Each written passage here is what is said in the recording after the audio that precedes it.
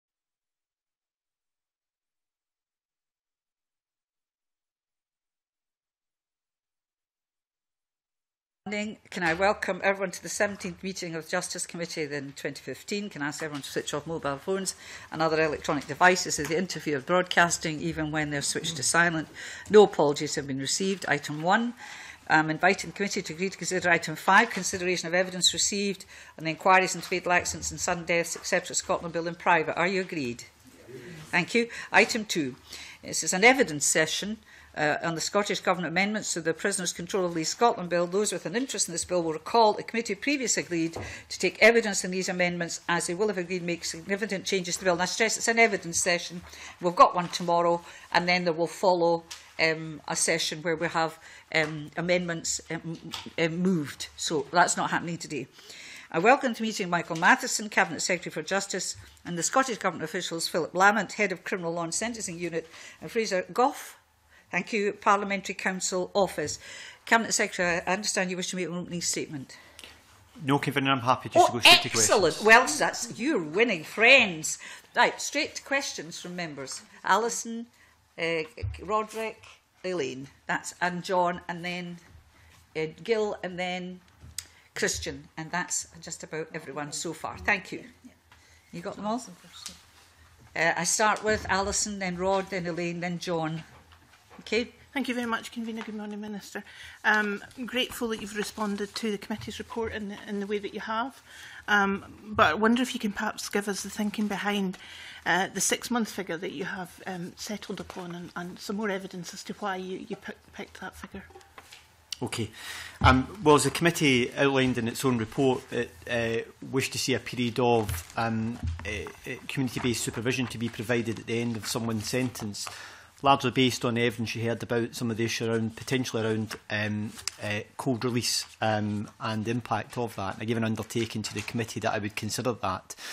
And we've brought forward um, uh, amendments which will create uh, a, a compulsory period of supervision within the person's sentence, the prisoner's sentence, uh, when they're released back into community.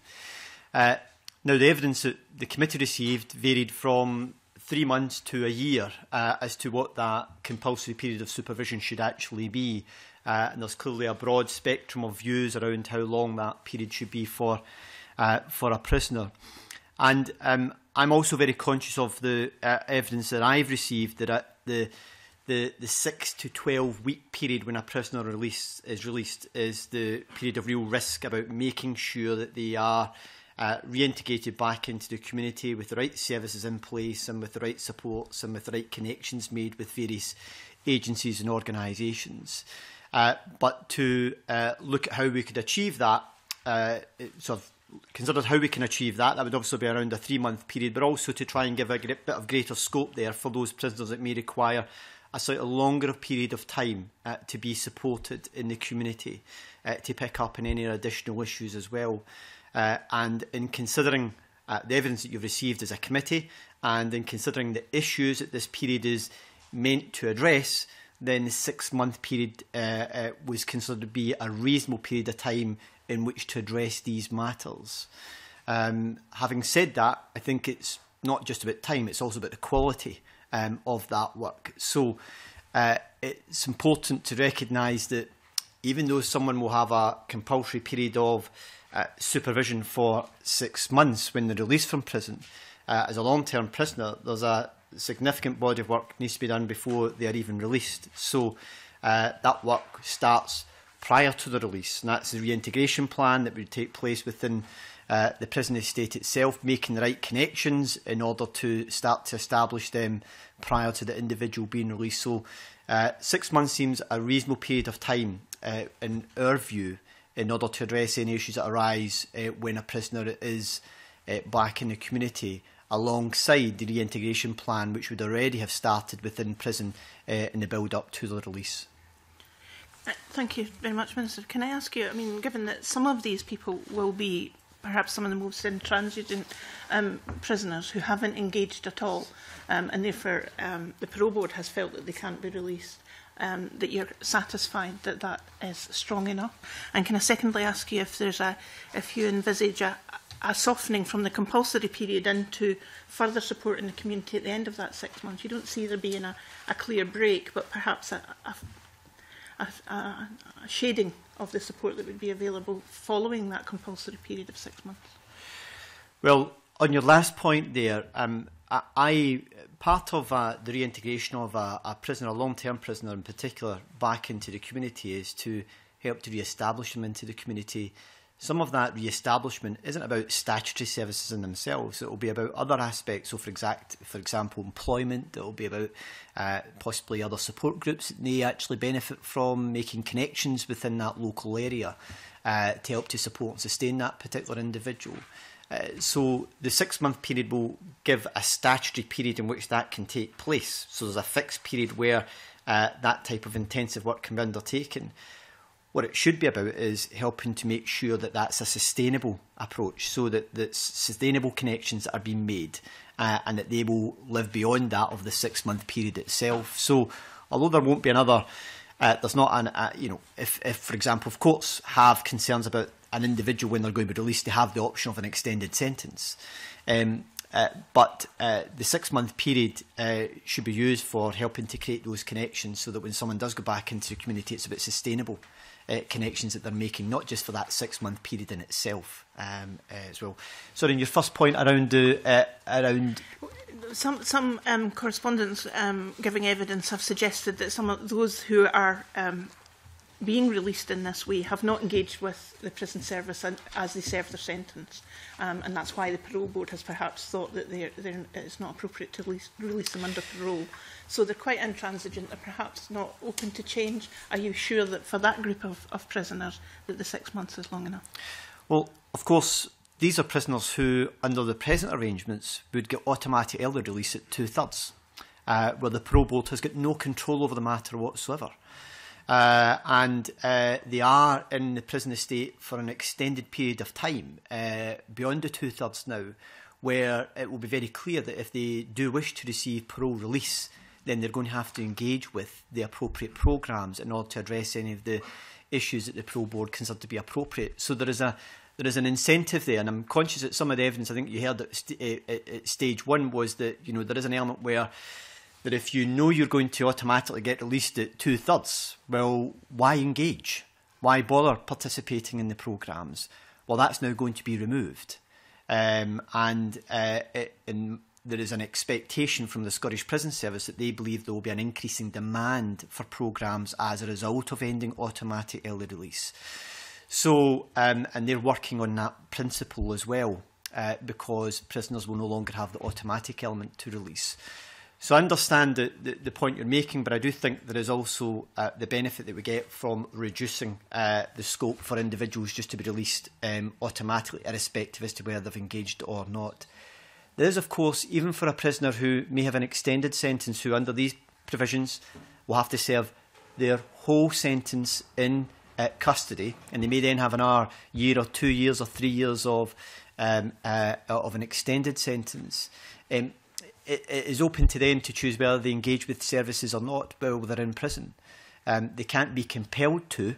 Um, but what I'm also conscious of, and as the committee's raised with me before, is to make, make sure that we've got these programmes readily available. Uh, and uh, uh, prisoners who do want to engage with them and are encouraged to do so, uh, that, they are able to participate in these programmes. Um, so and that's an area of work which I know the Scottish Prison Service are taking forward just now off the back of the inquiry which the committee undertook uh, in 2013 um, into some of this issue. So, um, uh, uh, you know, we are removing the fact that the automatic element is gone uh, at two thirds, which means that these prisoners now will have to, if they want parole release at an earlier stage, will have to participate in programmes to address their offending behaviour.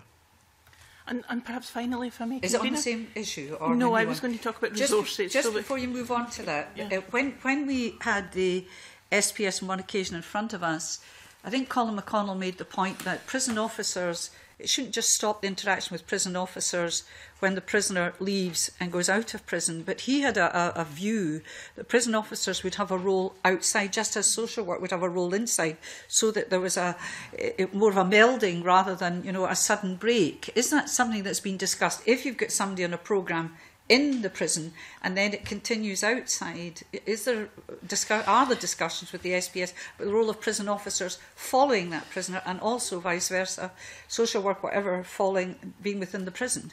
Well, uh, it's not only been discussed, some of it's already happening. Uh, so, for example, if you go to um, uh, uh a, a Tomorrow's Women in Glasgow, um, we have uh, prison officer staff in the team in the community So they are dealing with uh, women who've already uh, uh, been in the prison estate, who are back into the community. So you've got prison officers sitting alongside uh, uh, housing officials, okay. health officials, social work officials, uh, and uh, with, uh, with the police, all working to help to create sustainable approaches to support these women back into the community. So uh, it's already happening. Uh, there is certainly more we can do in that area. Um, there's no doubt that the prison officers recognise that their role is changing. Some of the work we're looking at just now with the remodelling uh, of the female prison estate and taking a different approach. We'll be looking at prison officers working in an entirely different environment from what they're working in just now with female offenders, uh, which will be much more community based and much more part of a multidisciplinary team uh, and working with uh, uh with female offenders. So, yes, in elements it's already happening. Will more of it happen in the future? Certainly, the way I believe things have to move. Thank you. Sorry, Alison. Thank you. Um, really just quickly um, to move on to resourcing. Obviously, for this to be effective, criminal justice social work services in particular need to be adequately resourced. Can you tell the committee um, what consideration you've given to these changes to the bill as it's moved forward? So we, uh, in response to the recommendation that came from the committee, we've set out um, a range of uh, figures that uh, indicate what the additional cost would be to these amendments uh, to the prison estate and to the uh, social work and also to uh, the parole board and the other agencies that would be involved in that over uh, what would be between, uh, just say for example, for the bill came into force in 2016-17, uh, right up till uh, it being uh, it Uh, fully realised, which would be in 2030-31. Uh, uh, so we've set out the cost and everything, and we've been quite clear is that any additional costs associated with this, that we will meet those costs. Having said that, though, as I've, uh, I think, mentioned to the committee in at least one, if not more occasions now, is that uh, there is far too much of a resource within the criminal justice system caught up in dealing with short-term offenders who are in and out of our prisons on a constant basis. And if we want to free up the resource within our prisons to be much more effective in dealing with long-term offenders, those that pose the greatest risk to our communities, then we need to make sure that we are being much more intelligent about how we use our prison estate. Um, as uh, the McLeish Commission set out, it has to be used for those who pose the greatest risk to our community in a much more effective way So I want to uh, look at taking measures that will help to reduce that demand on the front end of our prisons, not just to release resource that can be better utilised within the prison estate itself, but also so that we can utilise that resource within the community setting much more effectively um, as well. But that will take time and we need to reset that balance. And some of the work that, for example, mentioned around the female prison estate that we're looking about Also for the male estate as well, uh, our dealing with male uh, offenders is about trying to make sure that we use prison much more effectively for those who pose the greatest risk and that we are using alternative disposals much more effectively for those short-term offenders uh, that could either be diverted from prison or uh, could serve their sentence in a much better and more appropriate way, uh, which is, uh, doesn't have the same resource intensity that we have within the prison estate. Thank you, Convener. Yeah, can I just ask first of all, is this Rod? Does this follow on from this? Because I've got, I've got John wanting a supplementary to that, and Gil wanting a supplementary. No, no, I'm happy to wait. Rod, yeah. uh, Gil, uh, John, sorry, then uh, Gil. Thank you, Convener. Uh, morning, Cabinet Secretary. Morning, Cabinet Secretary. Uh, uh, I mean, I understand it is a manifesto commitment, and you're prepared to put the money up to to, to reach that. And the figures we have are that it's going to be 16.724 million 2030 31. Now, the balance about the, which is more than half the present budget for community um, uh, community justice, which is 31.8 million at the moment. Are you able to give a projection? Because I know that you talk about only having the people who are posing a, a risk being in prison, but uh, I mean there must be some projection that can offset that ultimate sum of um, those we are going to imprison if were this legislation to go through or keep in prison longer. Well, um, the figures are based on the assumptions of just what's provided for within this bill.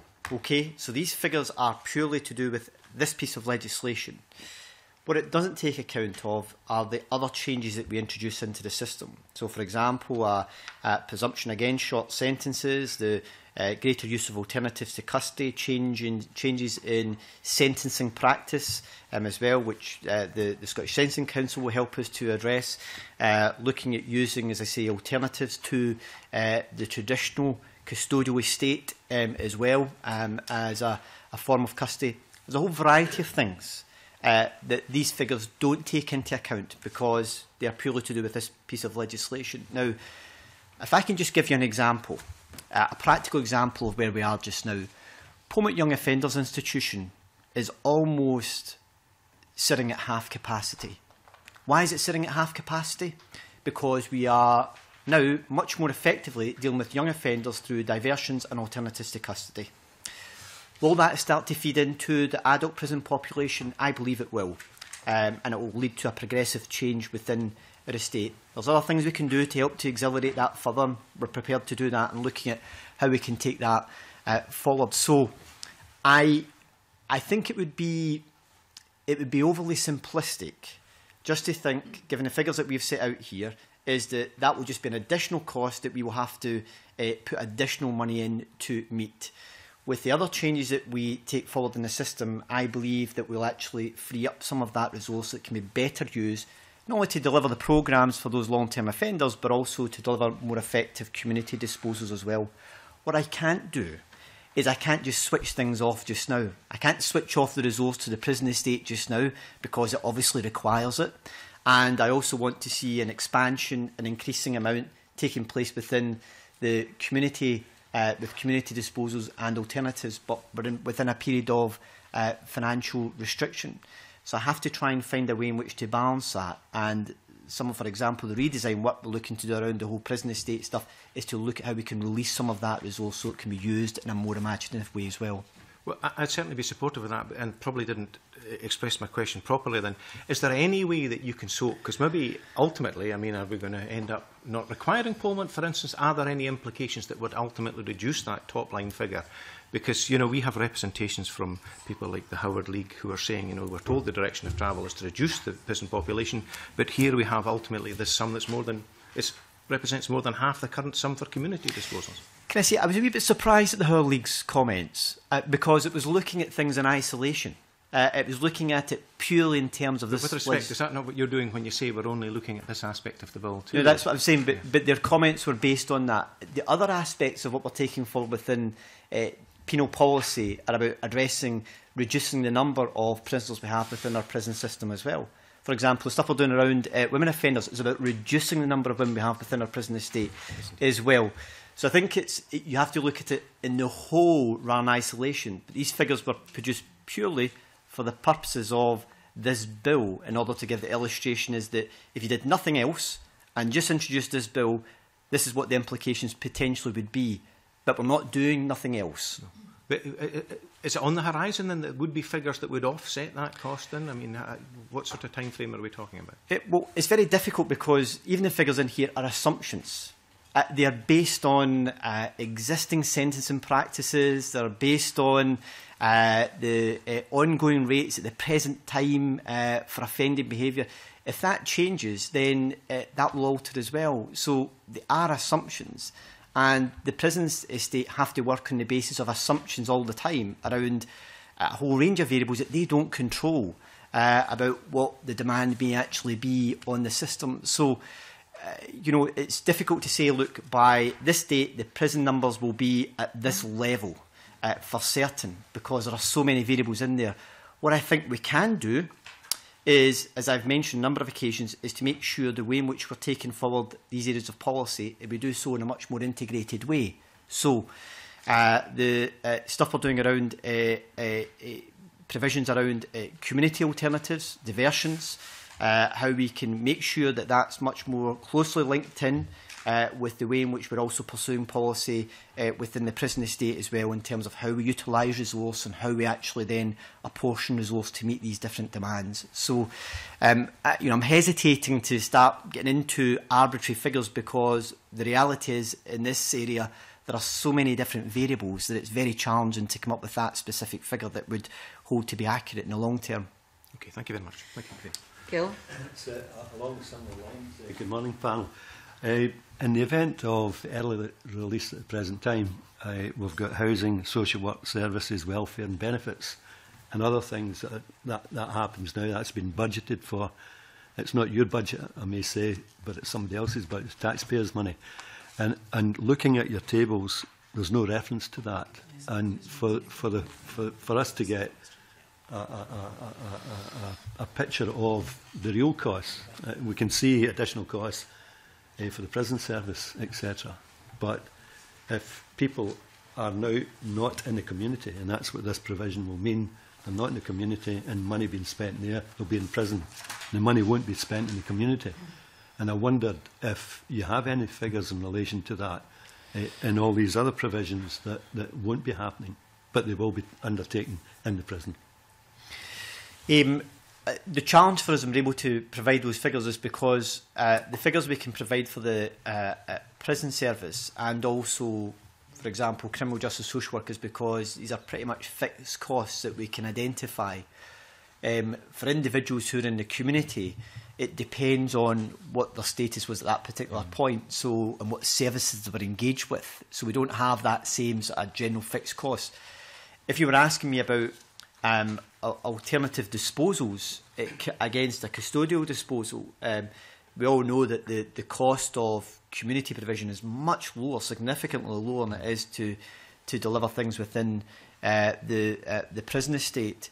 But because there are so many variables for an individual, their own individual circumstance before they end up in prison, it's very difficult to estimate what those costs would actually be. The, the point, actually, some of the figures are quite significant uh, when you when you add them up. You know, like provision for housing, and it will be uh, local authorities that will need to do that part of the job. You've got social work, local authorities again, and then you've got benefits, and it's, these are reserve matters. But uh, it's just to get the idea that uh, you know when we want to make change, and people just see costs going in, but there's it's not the real cost. We, we know that for the prison service, yes, of course it is, but the real cost isn't the same yeah. because there ah, are. I, I hate to use the word savings. Uh, you know, it's uh, you know, it's it's offsetting is the, the right the, the right word. I think uh, it'd be, say, it'd, it'd be worthwhile looking at that to sell to sell this program to the to the wider public actually because it's not the real cost that we've been given here. Yeah, I think it, it, it starts to become a bit artificial in terms of the actual costs of it, but it, there is an element where um, it is um, it, there is an offset cost uh, that's associated with someone in the community who may not be in touch with criminal justice social work if they're getting housing benefit, etc., whatever sort of idea. However, having said that, because the variables are such for individual circumstances, it's very, very difficult to, to come up with uh, clear figures on that because uh, Uh, with the prison estate and others, we've got fixed costs that we can clearly identify how much it costs an individual. But as I say, I think it's it'd be overly simplistic just to look at the 17 million pounds and think that's what the additional cost is going to be. That's additional costs if when you look take the offset into account that you've mentioned, but also if we did nothing else in the system, that's simply not the case. Um, uh, and that's why I was a wee bit surprised at the, the her league's uh, view in the matter. Okay, thanks for that. Thank you. Rod. Convener. Morning, Cabinet Secretary. Um, I've got one small question before I move on to my main question, but small question just on the, the six-month period, the uh, mandatory period of supervision. Um, some critics have suggested at the moment we have a proportionate um, way of uh, dealing with automatic early release. Moving to a six-month period, you will lose that proportionality and therefore distort sentencing. How do you, what would you comment on that? Uh, I'm not entirely sure that automatic release it, it, it, it two thirds is proportionate because it's that's it. It's two thirds. The Pro Bowl don't have any control over it. What I think is proportionate is parole release. Uh, the parole board, in considering a case where someone applies for release, can determine whether they think they are suitable for release at that particular point, uh, given their circumstances, what programs have been through, etc. So I would see parole release as being proportionate. I don't see automatic early release uh, as being uh, proportionate. And the six month period is uh, in order to make sure that we reduce the risk of someone reintegrating back into the community in order to help to support them because we know there are particular risks when a long-term prisoner is moving back into the community, particularly that, as mentioned, that's a 6 to 12 week period in getting them re-established and the six-month period will allow that to happen and to take forward any additional measures that are necessary to help to support the individual in, in getting back into Uh, uh, the community setting. So um, uh, I don't view automatic early release at two-thirds as being proportionate. Okay, thank you. Um, on the 20th of January, we heard from John Watt of the Parole Board in relation to figures that, and what he said was that it's clear that those are released on non-parole licence at two at two-thirds of the way through their sentence and without an assessment of risk tend to be recalled in significantly greater numbers than those who are released on parole license, where there is an assessment of risk. Um, you subsequently gave evidence on the 3rd of March, and, and uh, uh, obviously that evidence is incorporated in the uh, amended financial memorandum at uh, paragraph uh, 34 in particular. But we've also had evidence more recently from Dr. Monica Barry, which indicates that those released automatically pose less risks than those uh, released by the parole board. How would you um, what would you say to that? Um, I haven't uh, saw Monica Barry's research in itself, so I can't I can't comment on that in great detail. Uh, uh, and although uh, it, it would appear to suggest it, uh, that uh, that the pro release is less effective uh, than automatic early release, uh, which I'd be somewhat surprised at, and would suggest that the pro board, um, uh, uh, in some ways, uh, are almost making things worse uh, which again I would be surprised if that's the case.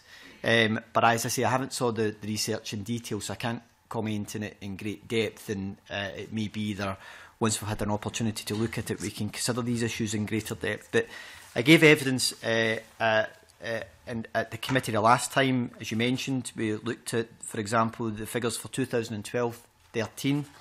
There were uh, 476 prisoners who were subject to supervision in the community after parole release, and there were 403 who were subject to supervision in the community after non-parole release. Uh, the rate at which uh, non-parole release prisoners breached their licence conditions was 37%, compared to 5.5% for parole release uh, prisoners.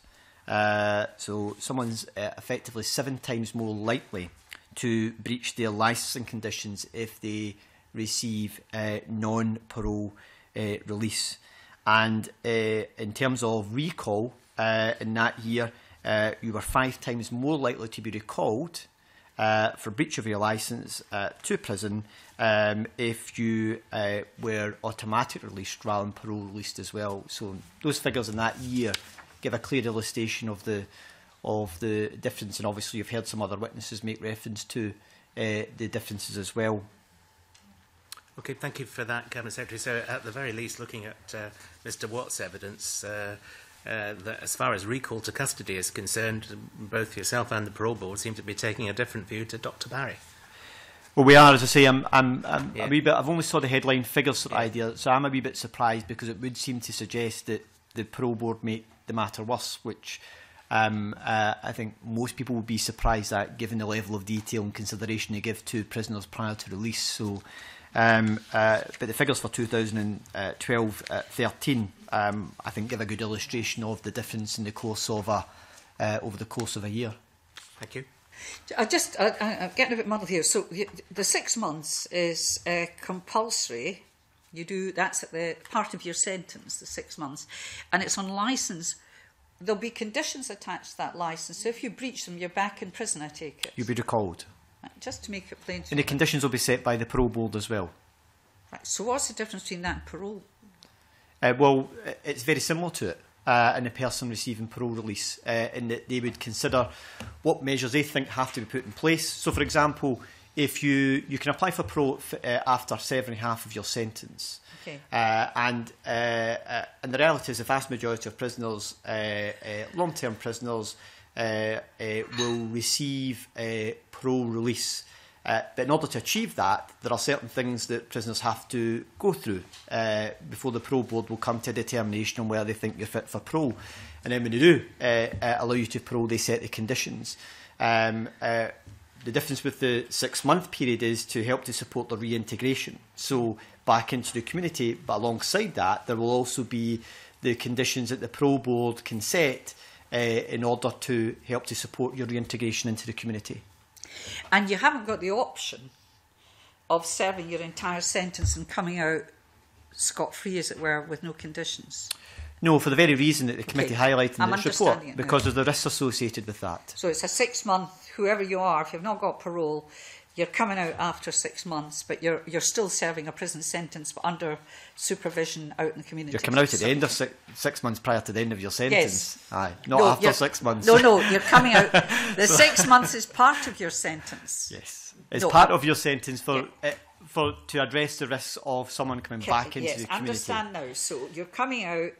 you've not finished your sentence, this is still your sentence, but you're serving those six months in the community. You do not have an option and say, I'm just going to stay in prison for the next six yes. months. And then I can come out and it won't matter. And the reason it's within the sentence okay. is because that creates the legal provision where the yeah, parole board um, can set conditions. If yeah. you don't do it within their sentence,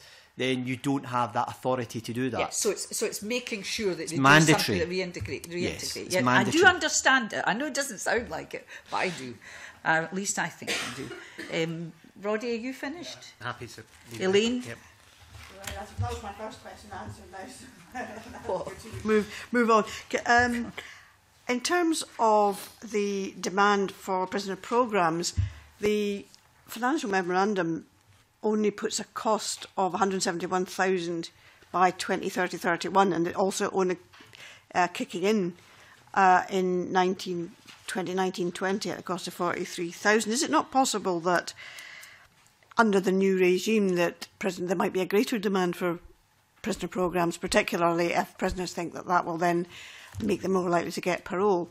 Uh, and are these, are these sums really sufficient? I mean, I, a question I haven't got the answer with me that uh, my colleague Graham Pearson posed some time back indicated certainly about around sex offenders there were something like 100 I believe uh, who had been assessed as would have benefited from the sex offender programme but who are not actually on it at the moment. Um, is it not possible because of the changes that we would actually need to front load the prisoner programme uh, provision in order to ensure there are not, for example, ECHR uh, issues because people haven't been able to access yeah. programmes? Yeah. No, um, uh, uh, these figures are assumptions uh, based on uh, a snapshot here and now as to the implications of this. And the, I think the SPS and their evidence to you indicated they were expecting an increasing demand mm-hmm. for uh, prisoners to participate in programmes as a result of the ending of automatic early release. So um, one of the pieces of work that they're doing already uh, is they've had their purposeful activity review Part of that review has identified issues around access to certain types of courses and also around psychological uh, service provision, and they're about to commission some work uh, to look at taking these matters forward. Uh, the biggest challenge that we have within the prison estate is that there is so much, as I've mentioned earlier on, of the resources tied up in dealing with the churn of mm. short-term offenders. Now, uh, the uh, you know the prison service, like any other public service, have to live within the budget that they have, Uh, and during this period of austerity, uh, that has uh, grown ever tighter. Uh, and they have to try and make sure they can deliver as many effective programmes as they can uh, within uh, their budget at the present time. My view is that if we can release some of the resource that's tied up uh, in, as I say, significant amount of resource that's tied up in dealing with a lot of uh, those shorter term offenders, then that will help to release some of the resource that will allow us to expand and develop some of the programmes within the prison estate. So there's a balance to be struck there in trying to achieve that. Um, uh, so, uh, but these figures are based on uh, assumptions um, that could vary uh, uh, uh, in year and across several years, but it's based on the present figures. I mean, I hear what you're saying about short-term prisoners, but actually at any one time it's only about 10% of the prison population, which are actually the short-term prisoners because they're coming in and out, and the longer-term prisoners are there for, for longer periods of time. So even if we could deal with that situation, now they're probably not getting as much of the sort of prison programmes either if they're only there for short periods of time. So, you know, would that actually address the, the balance if we can, are, can deal are, with that? It's a, it's a smaller proportion on a given day. Mm but over the course of a year, oh, it's, yeah, thousands. Yeah, yeah. it's thousands of prisoners in and out the mm. system. Mm. So it's a big, big, big turnover. So, um, and we shouldn't underestimate the amount of resource that the Scottish Prison Service have to dedicate to just managing that. Um, so, uh, and that's why we need to be much more effective in dealing with that in order to make sure the resource, as Henry McLeish said in his commission, is that we need to make sure we're using it in a much more effective way and much more targeted at those who pose the greatest risk to our community. Because a lot of the resource is still tied up on those who pose the lowest risk, uh, which then means that we don't have the same level of resource that we may wish to have uh, to help to support those who uh, would pose the greatest risk. That's not to say there's not a lot being done in that area, but could we do more? Of course we could do more. Um, and we could use the resource much more intelligently and much more mm-hmm. effectively mm -hmm. if we had less of that chum of short-term mm-hmm. prisoners. So you know, if the SBS review, which you refer to in the revised memorandum, if that actually comes up with a significant in increase in, in the need of you know, need of either provision of programmes or psychology provision as well, which obviously is pretty important, and that actually indicates that there is a considerably greater need than we're able to provide for at the moment. Will the resources be there for it? Well, if there are additional resource uh, demands uh, at some point in the future, then we'll have to look at it then, yes, and to try and address that as effectively as we can um, uh, in order to make sure that they can deliver the programmes that are necessary. Uh, uh, so, yeah, I'm, you know, this is potentially years in advance. So I could be making a commitment just now that someone else may have to live with. But I, uh, I'm, I'm certainly committed to making sure that we try to provide the resource that's necessary for the SPS to do their job as effectively as possible.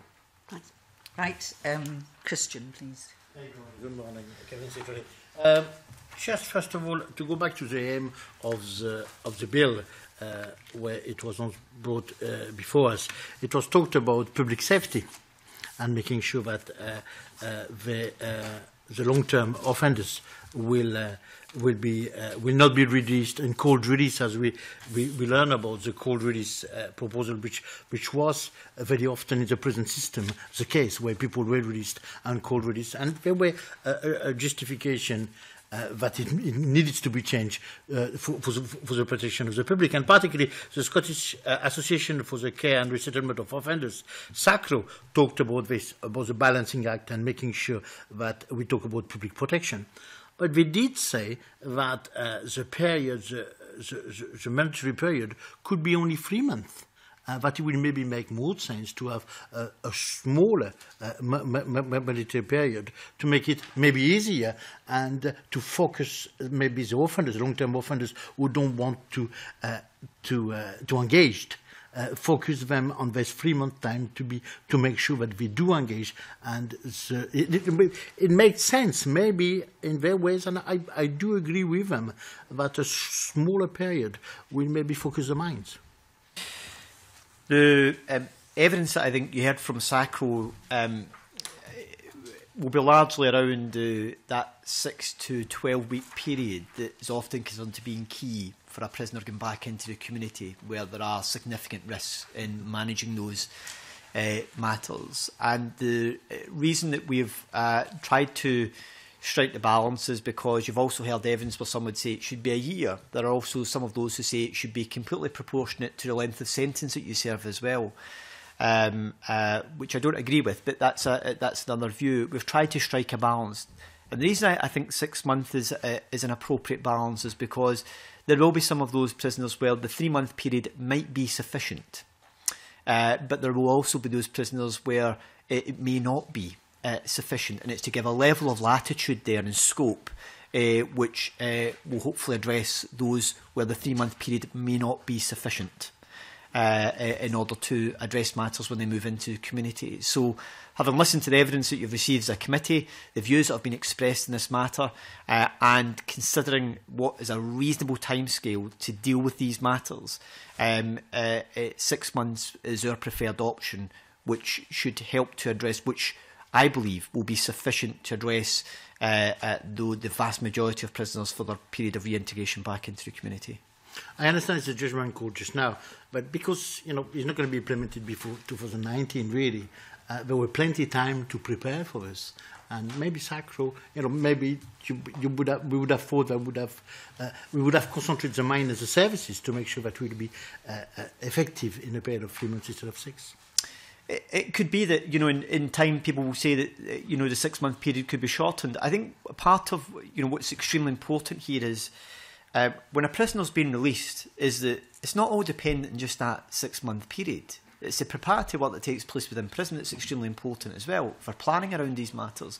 So, for example, we know the issues around housing uh, can prove to be a real deal breaker, if you like, in the effectiveness of a prisoner moving back into the community and sustaining themselves there. So, some of the work we're doing in Perth just now is that partnership between housing and the prison service to look how we can manage that more effectively. The uh, offender uh, reintegration uh, ministerial task force that I head up is about trying to make sure from health to housing to, to the whole range of other services are working in a much more joined up and coordinated fashion. The second provision within this bill is informed part by that about having that flexibility on days of release in order to help to Eh, eh, support the reintegration of a prisoner back into community.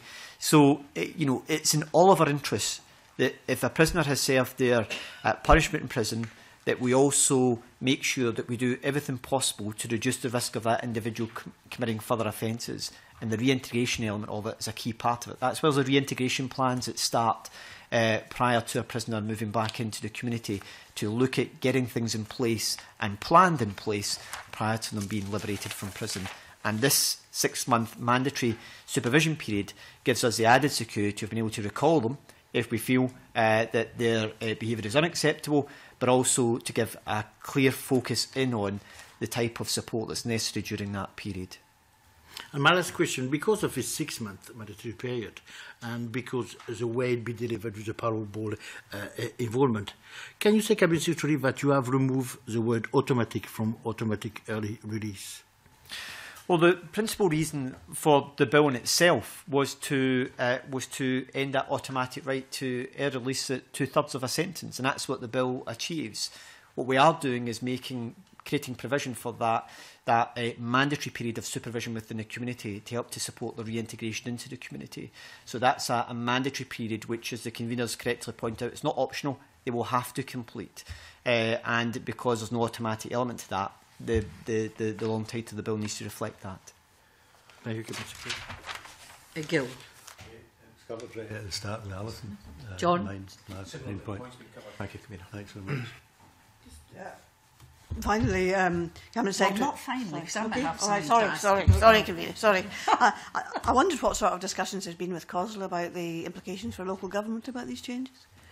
Well, the uh, discussions we're having with COSL just now is around the Community Justice Bill and the reshaping of uh, uh, community justice uh, and the creation of Community Justice Scotland. And part of that will see significant reform in the way in which we deliver uh, community justice provision in the future.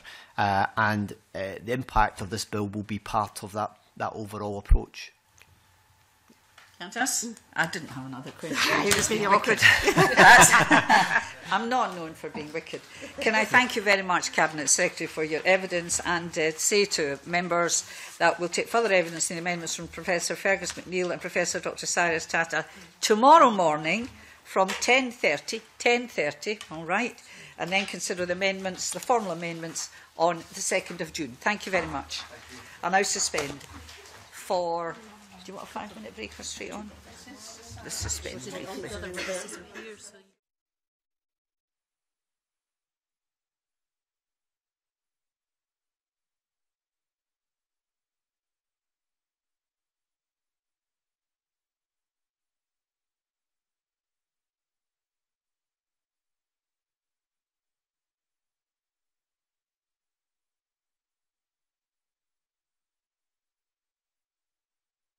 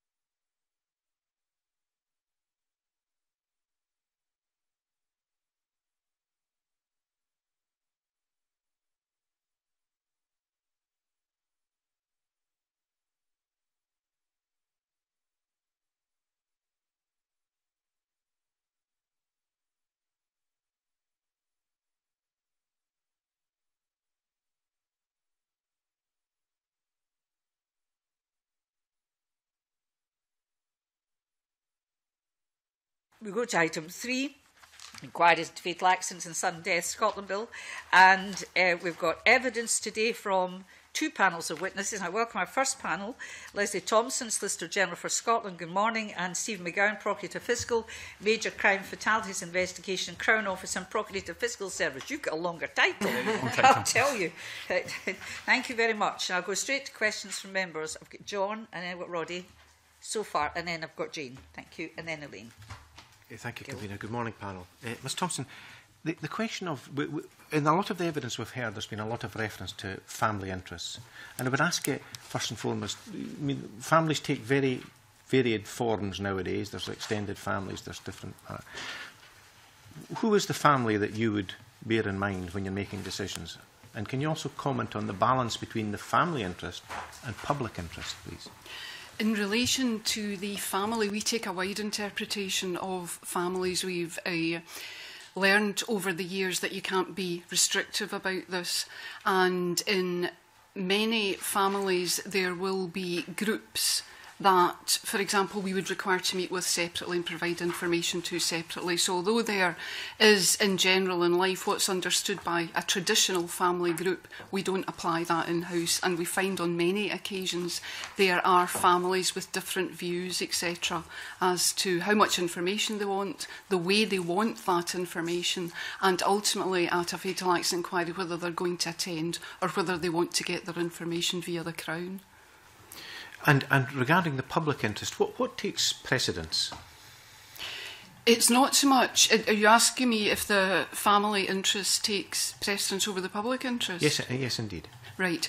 The family interest is part of the public interest, and no decision is made in relation to whether or not there's going to be an inquiry without having the views of the family taken on board.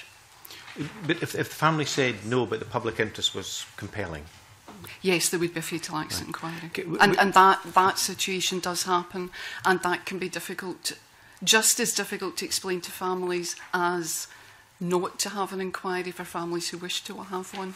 Yes, indeed. We, we've just received a, a, a late communication from um, Mr Marshall, the President of the Solicitor Advocates, where he talks about the different aspects of public interest.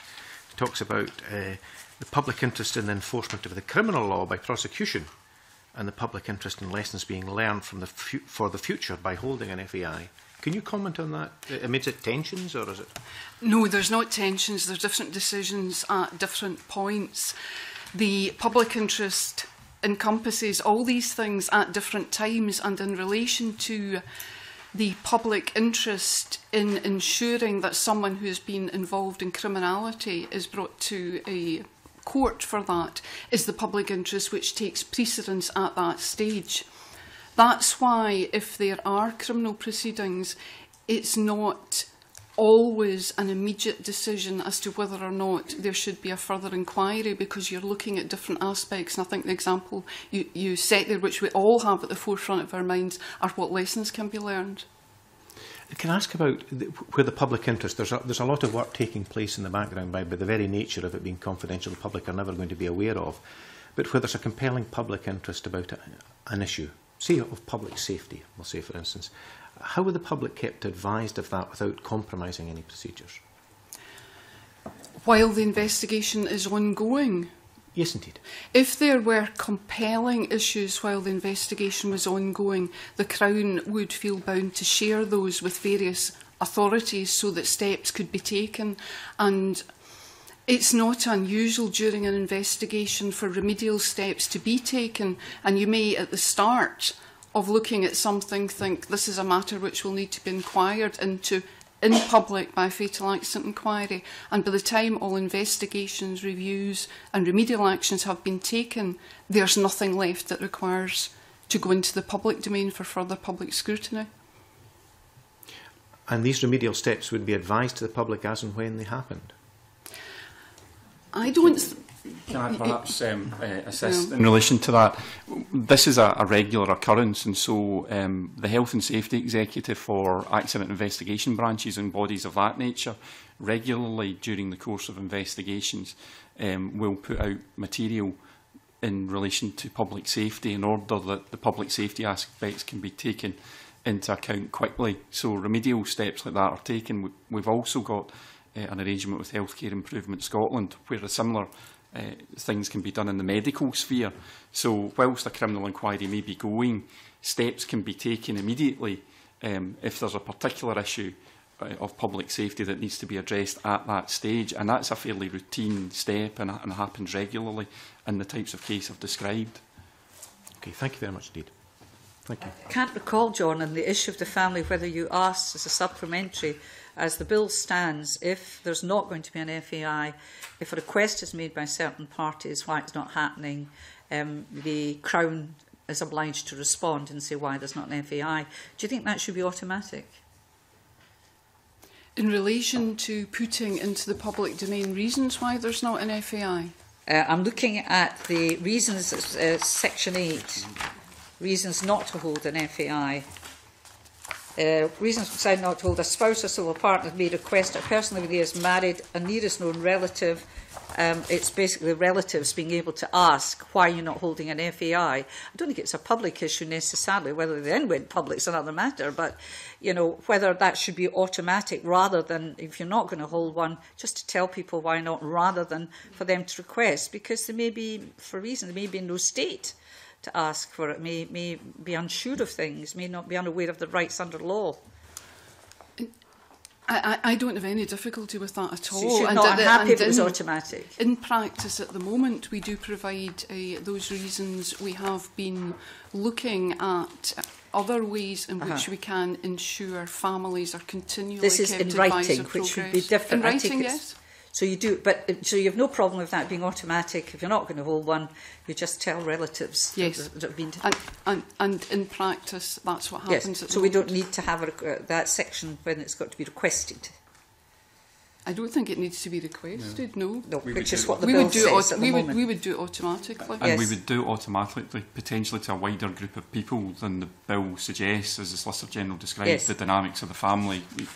we would Yeah, but the bill actually says that it's the Lord must give reasons in writing yes. if requested, yes. but we don't need. No necessary requests. The other thing I was going to ask is because we, uh, one of my colleagues isn't here, was ch chasing the issue of early hearings um, which um, Lord Gill pretty well, um, very convincingly obviously, swept to the side for various reasons, what is this and so on. Uh, what's your view about early hearing sort of to keep the Crown on its toes?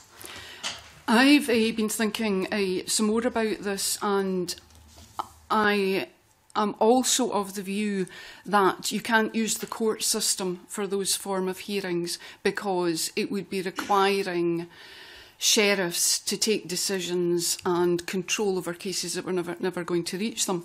But what I think is important and what a lot of people have raised is having a set process in place so that families know what's happening at certain stages and that there is an element of control over that time time scale.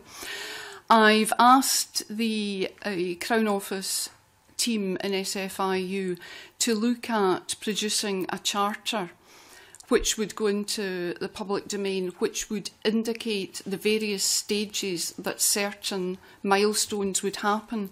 And in relation to early hearings, I think the equivalent at the investigative stage would be a hearing or a meeting, whatever you want to call it, set by the fiscal at a certain point in time, and what I have in mind at the moment is three months from the date the death is reported, at which point the fiscal would be required to provide certain information to the family about the stage of investigation and the timescale going forward. It wouldn't be this is the this is the decision, but it would be this is what's done, this is what needs to be done, this is when there'll be the next meeting. It would be open to families if they didn't want to turn up. There's you know Uh, uh, but I think it's important that the Crown could have that set going forward. We're working on that and we're going to consult on that sort of milestone charter with the various victims groups and, uh, and a number of the groups that have given evidence and publish that? Yes, would it be possible for, uh, given that going down this road, possible for that to be available before stage three, let's say, I appreciate the time scale, but you know, so that um, the Parliament would have before it some idea of pro progress that had been made by the Crown, your charter or your protocol or something what, like that. What, what, what's your date for that?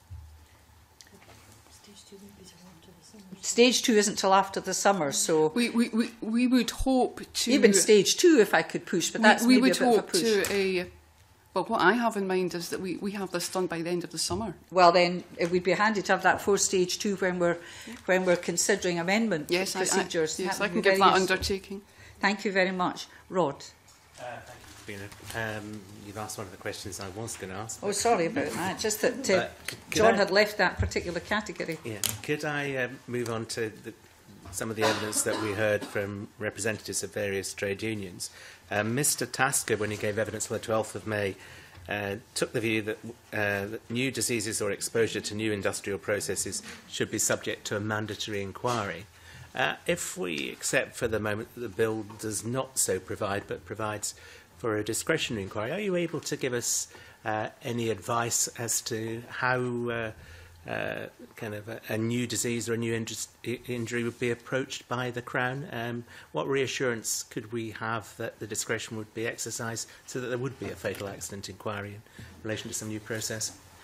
I think the position is that it's exactly the type of situation that that discretion would be exercised uh, to have an inquiry because there would be public concern about whether either whether it was, was a new type of industry or a new type of disease and the issues surrounding either the new industry or the new disease not having been aired before.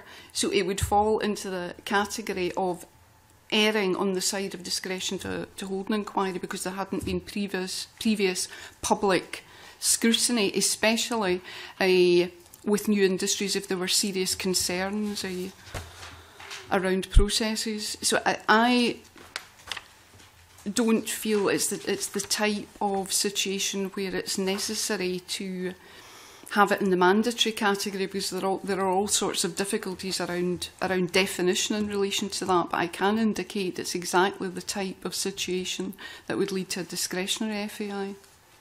Thank you.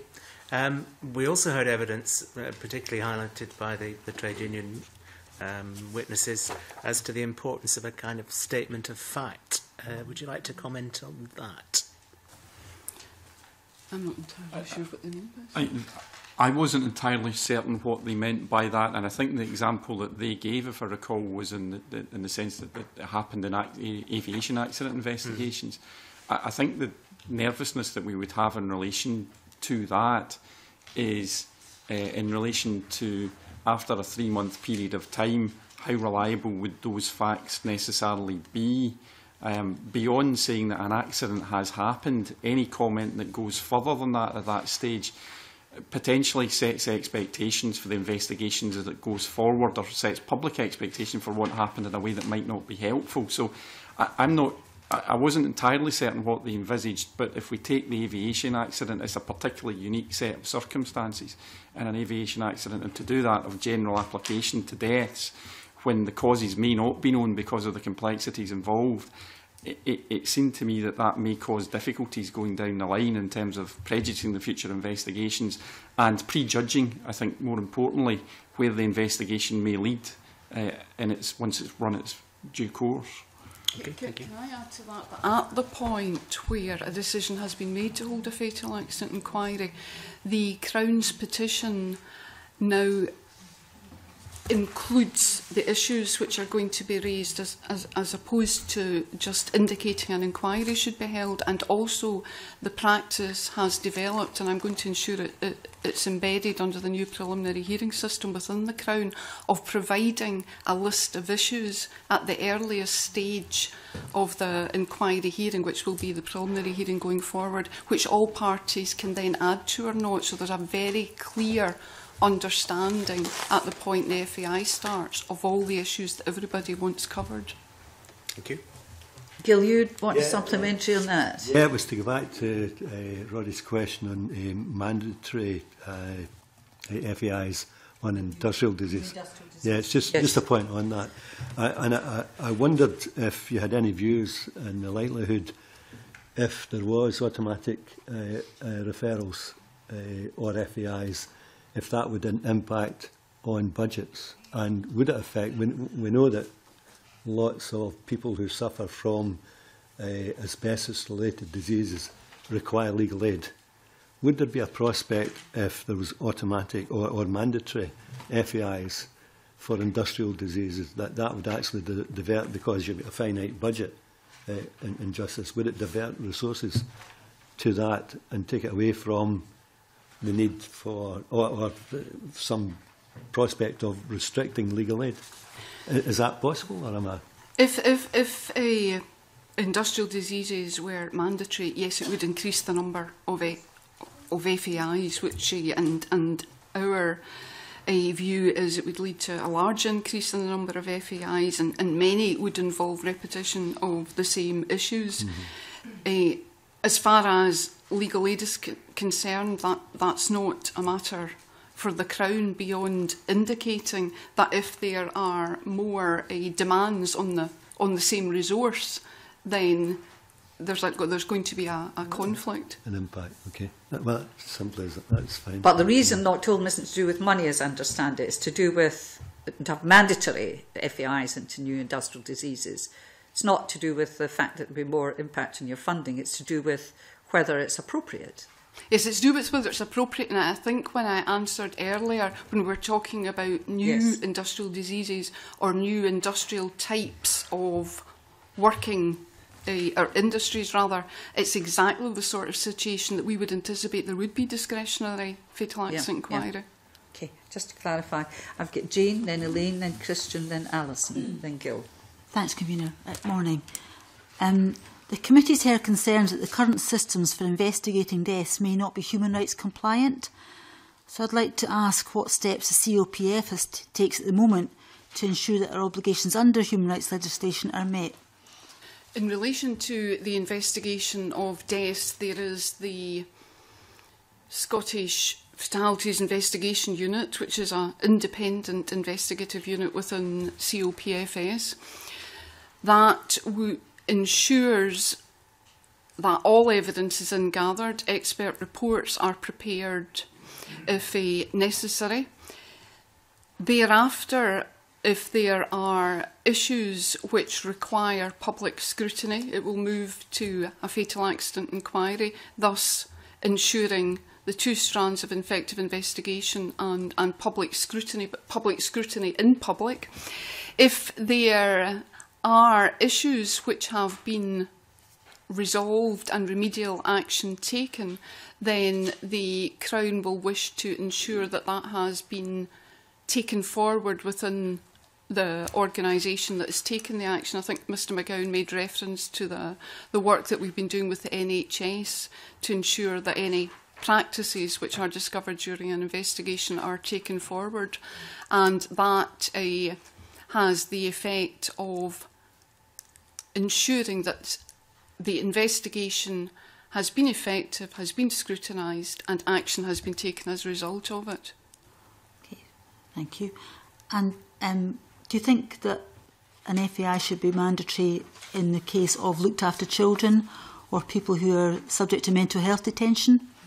I think the balance within the legislation is appropriate at the moment. If if you look at mental health detentions there, and, and the purpose being of mental health detentions, care of people, not the same public concern about, for example, those who are in, in custody as far as either police or prisons are concerned, where there's an element of punishment as well as an element of care. But if, if, if you look at the purpose for which they're there and the type of persons who will be under that sort of care, there are a large number of natural deaths and it would cause distress to families, I would expect, to have those as mandatory. So what you need to ensure is that there is an effective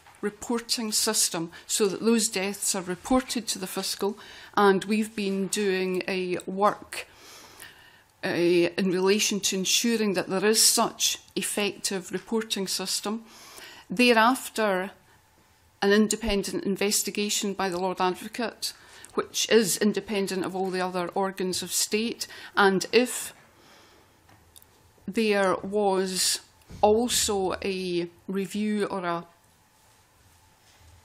some form of inquiry, for example, by the Mental Welfare Commission, I think in order to ensure it's human rights compliant, consideration has to be given to making sure all that's in the public domain. If not, then it's a matter of the Lord Advocate to ensure that the investigation and outcome is Article 2 compliant. And if it wasn't covered by any of those other ways, then they would require to a fatal accident inquiry. So that, that ultimately is the, is the final safeguard. Okay. Thank you. Thanks, Convener. Can we go back to mandatory inquiries, uh, section 2, subsection 4, and child subsection 4b, a child required to be kept in secure accommodation or detained in secure accommodation? I posited uh, to the Lord President that if they were not physically within that secure accommodation, but they had been, they were under state care by order of the court, um, for their own good or for the good of the public, but they were out and about. Would that apply? With that particular, it says required to be kept, and have they actually physically got to be in the secure accommodation for that to apply? They, they have to be kept or detained. So within I, I, that, within that. So I, I think anyone who's otherwise with uh, foster carers or elsewhere. No, I didn't mean that. I meant the child might have been kept or detained in secure accommodation, but they might be out and about because and are required to come back, as happens. They're not kept in all day long. If they were out and about and something happened, would that section apply? Uh, do you mean out and about, as in they've gone to school on a particular yes, day, but gone to school or they've gone forwards? out, or, or they've uh, they've not come back when they ought to have come back to the secure accommodation? Would that apply? I think it, the, the section talks about the being required to be kept or detained, so I, I, I think arguably it would uh, apply, but it, it may... Even it, if they're not actually physically yeah, e, within e a building? Even if, even if they've left that day, I, I think it... I think if to, for there to be absolute clarity in the situation which you describe, where they may be out for the yes, day yes. Uh, at school or, or, or elsewhere, it would be helpful uh, potentially just to clarify that in the legislation if that's a legislative intent. So it's not clear, it would have I, to have some other wording. I think you could interpret it that way. Um, but I think that there may be challenges. So, yes. in, in, order to have absolute clarity, I think you raise a very fair point. Yeah, that it would be I mean, a, chi a child who was there under their own protection kept her, and, and I had a case that many, eh, you know, broke out. Uh, and was two days wandering about before we could be retrieved. Now, if something had happened in that period, um, you know, that it wouldn't that wouldn't have necessarily. I, I think if they broke out the situation, I think if they broke out, I think I'd be comfortable in interpreting that as the fact that the child should have been in the accommodation. But I can imagine situations yes. where the child was being kept in secure accommodation, but was in mainstream schooling and was travelling to and from uh ah. -huh. uh, mainstream schooling or, or, or such like. Uh, uh that there would be, I think, okay. a shade of grey around about that that okay, may be just, worth clarifying. Just, but if they that. broke out, um, and absented themselves from a place that or a door was kept. left unlocked or something. Yes, I think that, that I would think, be different if the door was left unlocked. I think so because and then something befell yes, them because they would technically they should have been in the place yes. to which they were being kept. Okay, and just well, I might pursue that further. I think it's their status which is important. That's I would like I to think we would interpret it in, yeah. in, in the way you're indicating, and if it's necessary to amend the wording to clarify. Yes, I thought it, it was their status rather yes. than the police, but I thought that was more like the police. Anyway, I, I, I just press that further. Um, I've got El Elaine followed by Christian. Thank you, uh, convener. Can I turn to the issue of sheriff's recommendations?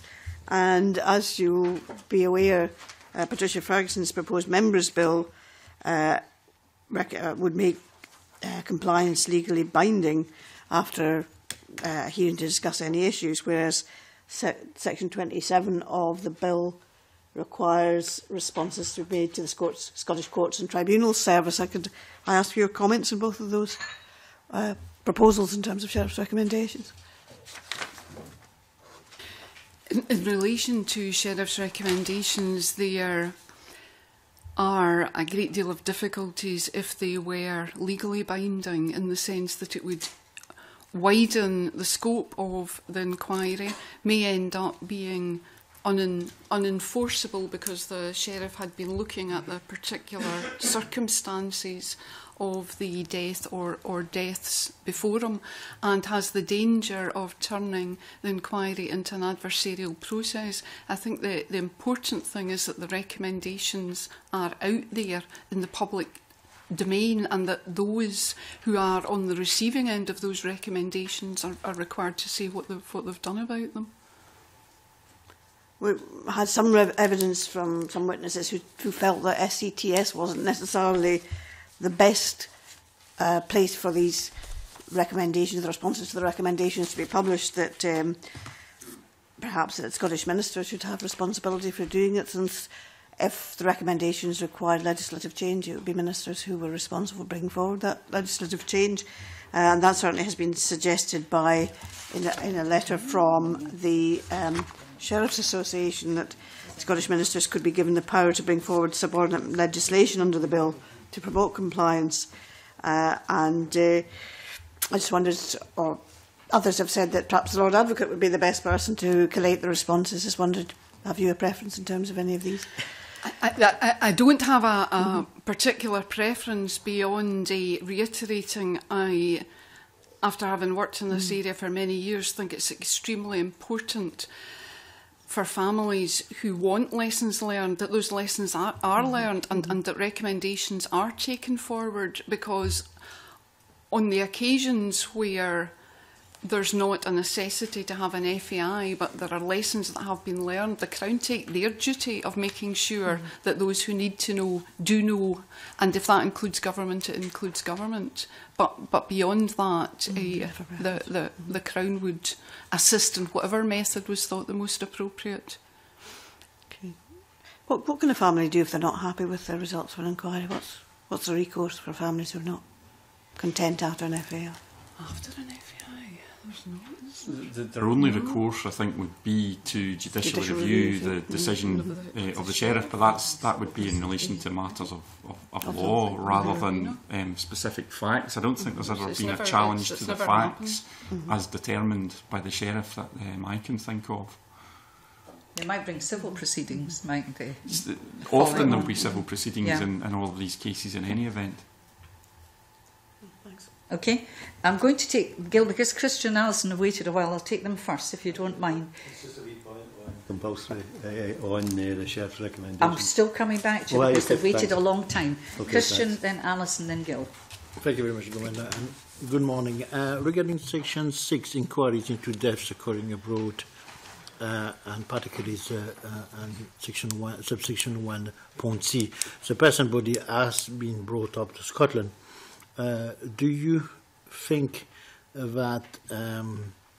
do you see any difficulty? There's been some calls uh, for this to be amended for exceptional circumstances.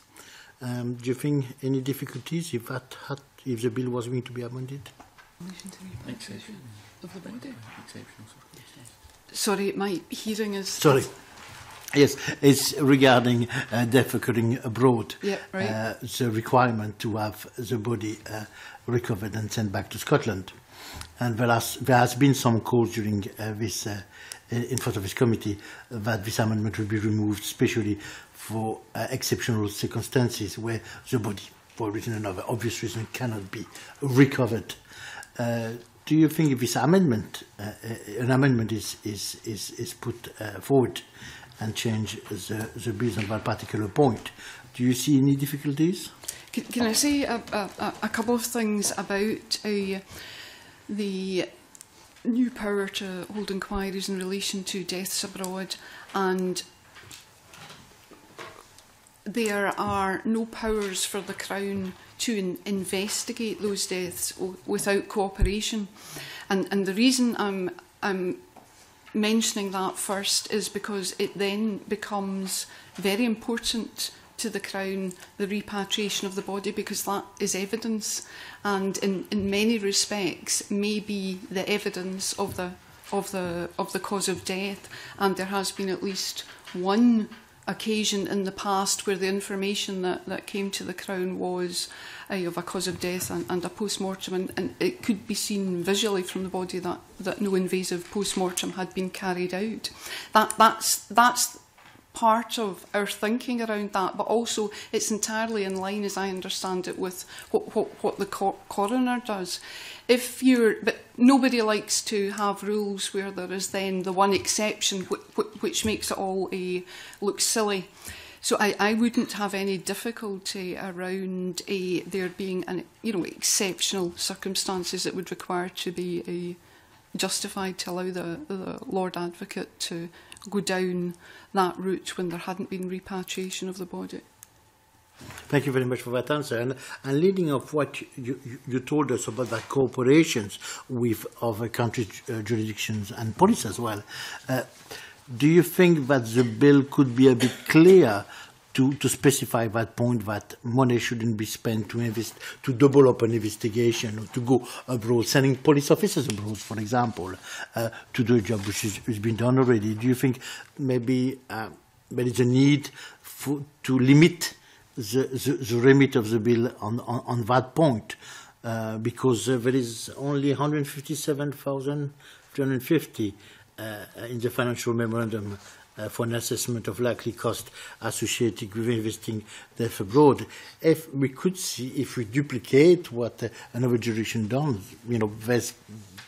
the summons could could uh, could increase a lot. People are, are, are working and living abroad a lot more than they used to.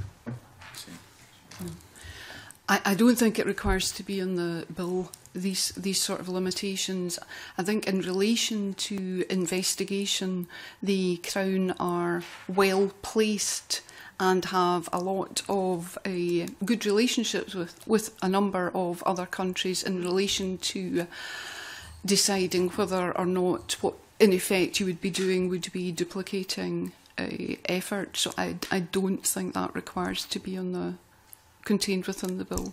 I'm quite interested about that. You know, in the time being just now, we don't send investigators abroad or we don't spend that vast amount of money uh, to see what happened abroad or to check that, you know, what, what, what the situation just now?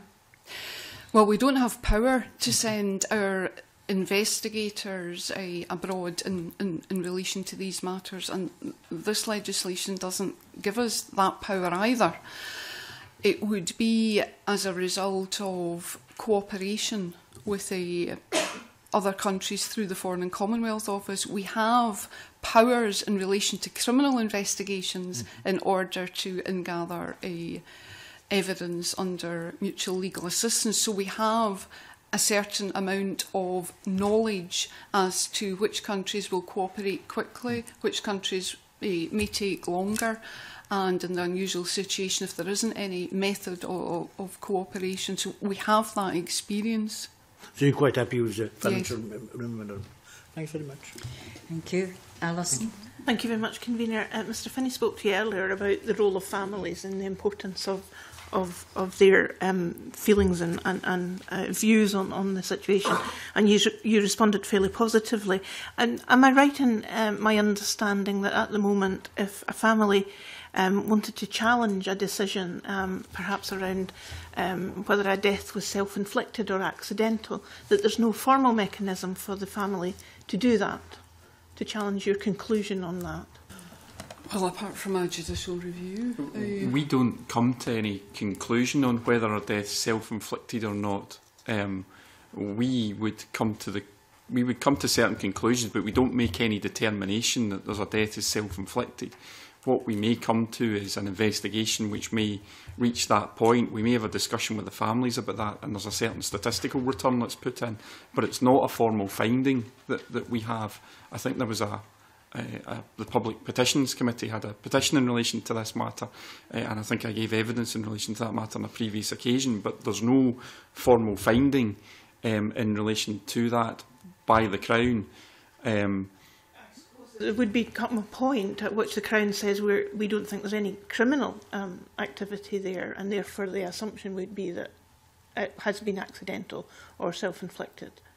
Um, that would depend very much upon the circumstances of the case, because if there was any suspicion that the death may have been homicidal, the case is likely to uh, be an unresolved homicide. There are, there are some cases which we would treat as unresolved homicide where there's a, a there is no clarity round about the cause of death, so it depends upon the individual death. There are some cases where, for statistical purposes, we may send a return to the General Registrar's Office saying, um, in the circumstances of this case, we suspect this death has been suicidal. Um, there are others which are accidental, which wouldn't be part of that return, and there are others where there may be a suspicion that the death has in some way been homicidal, but the evidence at that point in time doesn't support that. So there are various categories of case. Um, is there an, another category of just unascertained deaths? Yes. Yes, yes. Yes. Yeah. Okay. But if you if if the family feels that um, there should be further criminal investigation, there is no way for that to be challenged. There's no independent assessment in the system at the moment. The independent assessment is the Lord Advocate and, and the Procurator Fiscal reviewing the police investigation and directing that police investigation. Um, That's the independent review that there is. So you don't see any merit in there being perhaps a sheriff's inquiry where there is that kind of dispute? Is there any parallel with, say, a coroner's inquest, which is used much more frequently down in, in England? I don't see any any merit in in that. Um, no. It, it, it, may well be that there is a fatal accident inquiry in that type of death. So. Sorry, I was just going to add a in-house we do a if there has been a request to review circumstances, review in-house with, with different people, and we've done that on a number of occasions. It's still the same organisation, but looking at it with a, a fresh pair of eyes. And it's akin to the victim's right to review under the new legislation. And, and are you able to explain to me um, the role of coroners' in inquests and how they operate in, in England and why we haven't followed that system here. no.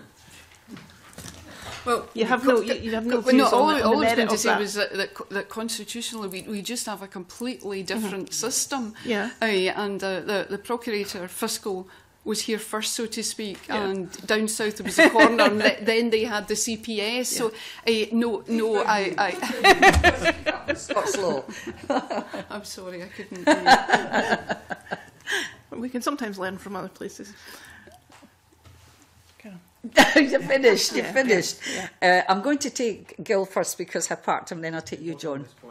Yes, but I've parked so was so was Gil previous on another point. Yes, Gil. I, it's just in Sheriff's re recommendations, and, and I just wonder is it actually possible for Sheriff, Sheriff's recommendations on a specific point to become compulsory without legislation or the recommendations from sheriffs currently, and is this what we're talking about, actually look at the law as they are and make a recommendation because the law was not carried out properly.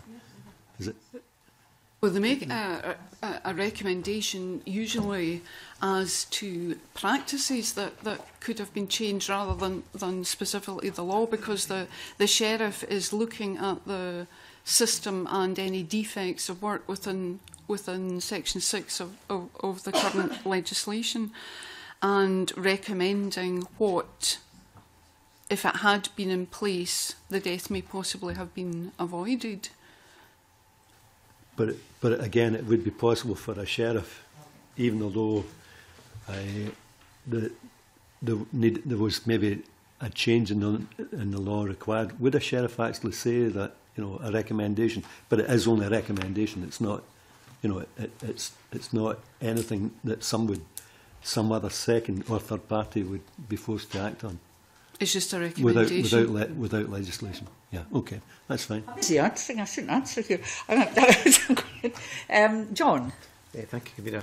Uh, Mr McGowan, maybe if you help me just clarify something I, I, I maybe misunderstood in relation to a response you gave to Ms McInnes, and it was you, you said that if there were any debate, the independence comes in the, uh, with regard to whether an FAI e should proceed, comes that independence comes from the Lord Advocate. I, I was referring to the situation of the criminal investigation, which um, I think was, was part of the question, that if there's a criminal investigation, where does the independence come in if the family aren't happy about that investigation and where it's, it's come from? In relation to the FAI, uh, and a or a decision as to whether there's to be an FAI, discretionary FAI, that's a Lord Advocate again independently, and there's a, a remedy of judicial review if, if the Lord Advocate decides not to exercise his discretion in favour of having an FAI. But crime in Scotland is investigated at the behest of the Lord Advocate. Yes. So is there not a conflict between these two? Between having an FAI. Well, well, well but su suggesting that someone who's saying, um, I'm not going to have an FAI, is also the person that's directed any criminal inquiry that may have also taken place. No, I don't think that there is. I don't think there's any conflict of interest in relation to that, and it comes down to the points that Solicitor well, General Is independence the appropriate term then? Yes, I think it is. I think the, the Lord Advocate independently investigates crime, prosecutes that crime, and investigates deaths. I think independence is the appropriate term in that regard. It comes back to the Solicitor General's point about all of the factors which make up the public interest, and I don't think you can disaggregate those points and say there's a different public interest in a particular aspect in relation to an FAI or a criminal prosecution or a family's interest. I think those are all factors which, when taken together, uh, are factors which go towards what the public interest actually is. Could I, could I just perhaps indicate that uh, it's how that's done in-house which, which is important and it's done within separate teams of, of specialists and as I indicated earlier, different aspects of public interest at different stages. So, in relation to criminal proceedings, let's say the uh, clearly the, the potential for high court proceedings at that stage, the circumstances will be looked at by the prosecutors, sometimes within the health and safety division. And then to Crown Council for a decision on criminal proceedings. It's not the same group of people that will then consider whether or not a fatal accident inquiry is, is appropriate or what further investigations there should be in relation to a fatal accident inquiry. And although these groups work together, it, it is a separate process and a separate report, and there are two specialist Crown Council now within the team who deal with these deaths type matters. So I think independent is the right is the right word to use, but I think I have to satisfy you that within the one organisation that independence is going on. But ultimately, it's still the same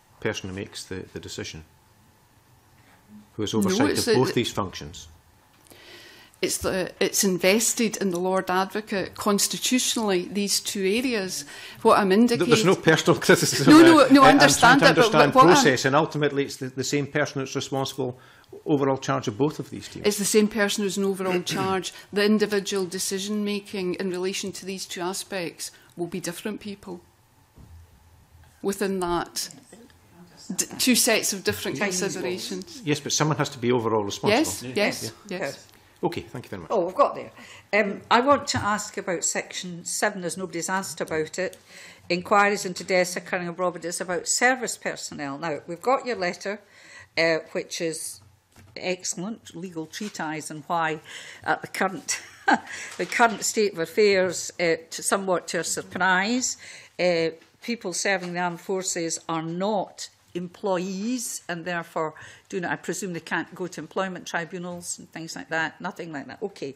But, so let's look at section 7 because that, that's the status at the moment. The the lines here can only apply, and it's, it's not a mandatory inquiry here, it's a discretionary one, if the death of the ser service, personnel occur service personnel occurs abroad. And one of the subsections says that uh, one of the things is there's a bit about being in custody at subsection 2, but in subsection 3, which is an alternative, was sudden, suspicious, or unexplained, or occurred in circumstances giving rise to public concern. Why can't we extend that, just not bothering about whether or not there's employee status, to service personnel per se? If it applies to somebody abroad, I don't know why we can't do it for somebody in Scotland, if the same kind of circumstances arise and not even go down the road of whether or not you're an employee and therefore it's mandatory? The, the, the genesis of Section 7 is Section 11A of the, the 1976 Act, which was added in uh, in the last few years to deal with matters abroad. Um, I, I don't have the answer to this, and it's for Parliament itself. I think there may be legislative competence issues round about that in terms of uh, the military.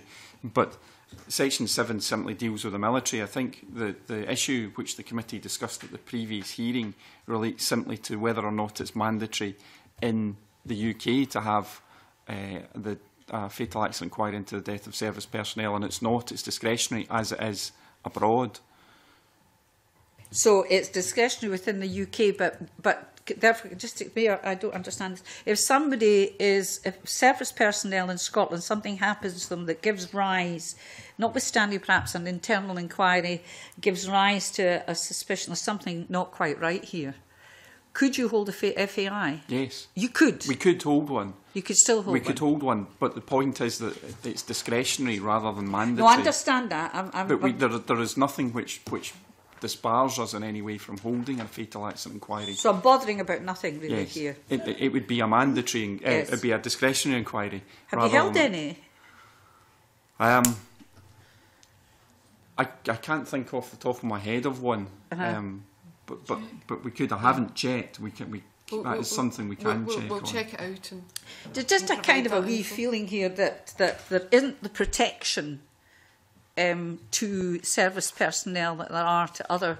people. I appreciate the, the status that they have from your from your explanation, but just this feeling, and perhaps this isn't the place to deal with it. Don't know. We'll ask the minister. But um, so you tell me. In any event, if something happens here, Army uh, recruits out training. Uh, FAI could be held if there was some, even if there was an internal army inquiry. Uh, absolutely. Would you get all that material back from the yes, army? You get yes, absolutely everything. We, we, would get that material, and we have done in the past, and the incidents I'm thinking of,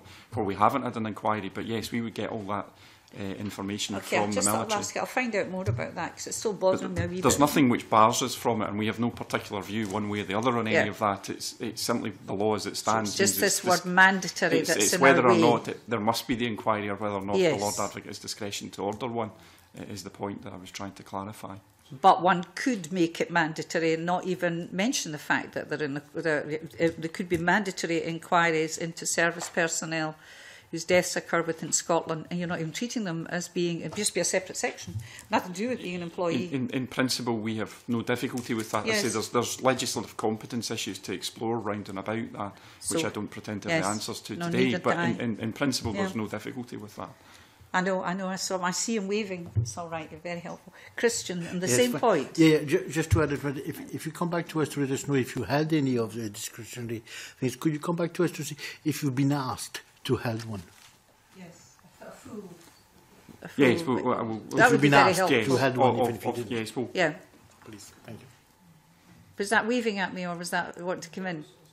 A fond wave and also... I, yeah. It's about time. Yeah.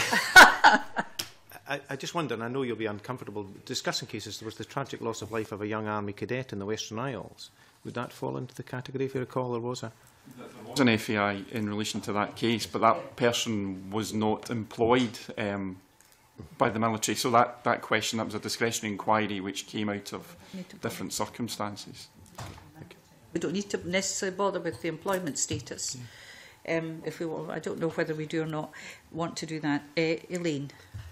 Just wanted, uh, you'll probably be aware that Patricia Ferguson's proposed members' bill uh, would introduce uh, time limits which could be flexible uh, for the holding of FAIs. I wondered if you could comment on that and in, in doing so maybe give us some sort of indication because it is uh, a concern that's been raised by families about the sort of average time scales for holding an FAI and if there are particular reasons why there are delays occurring.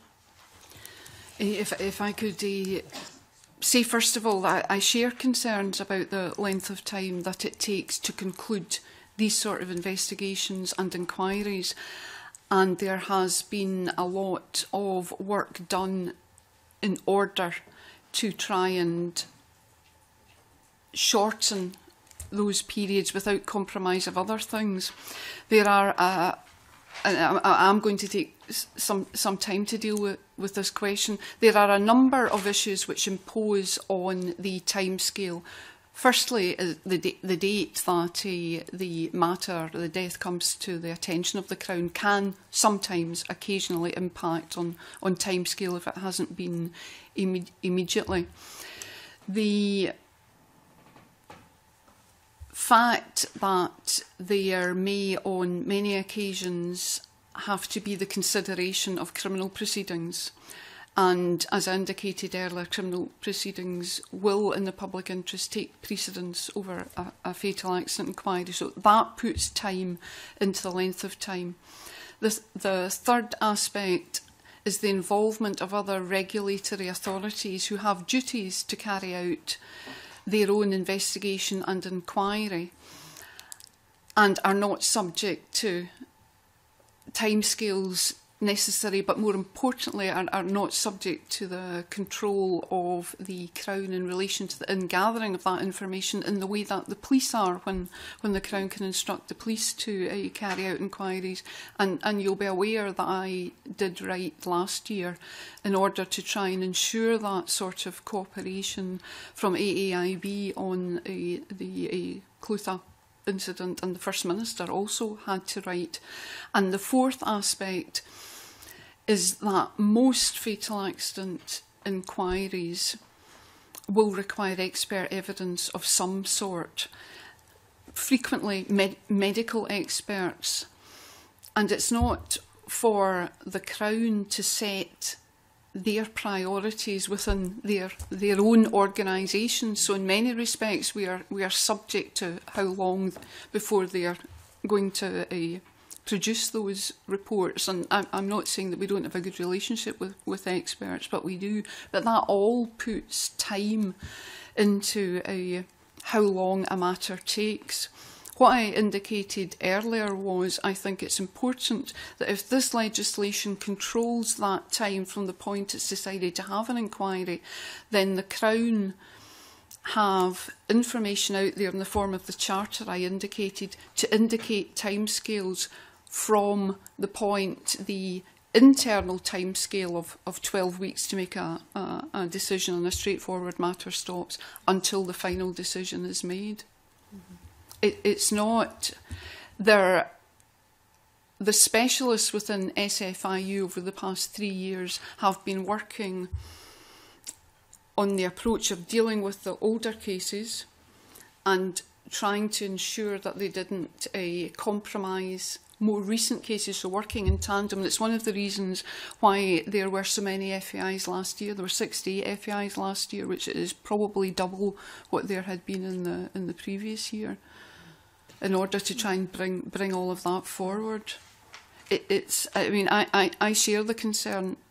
uh, your concern, the concern of families, and it is something that we are continually actively working on.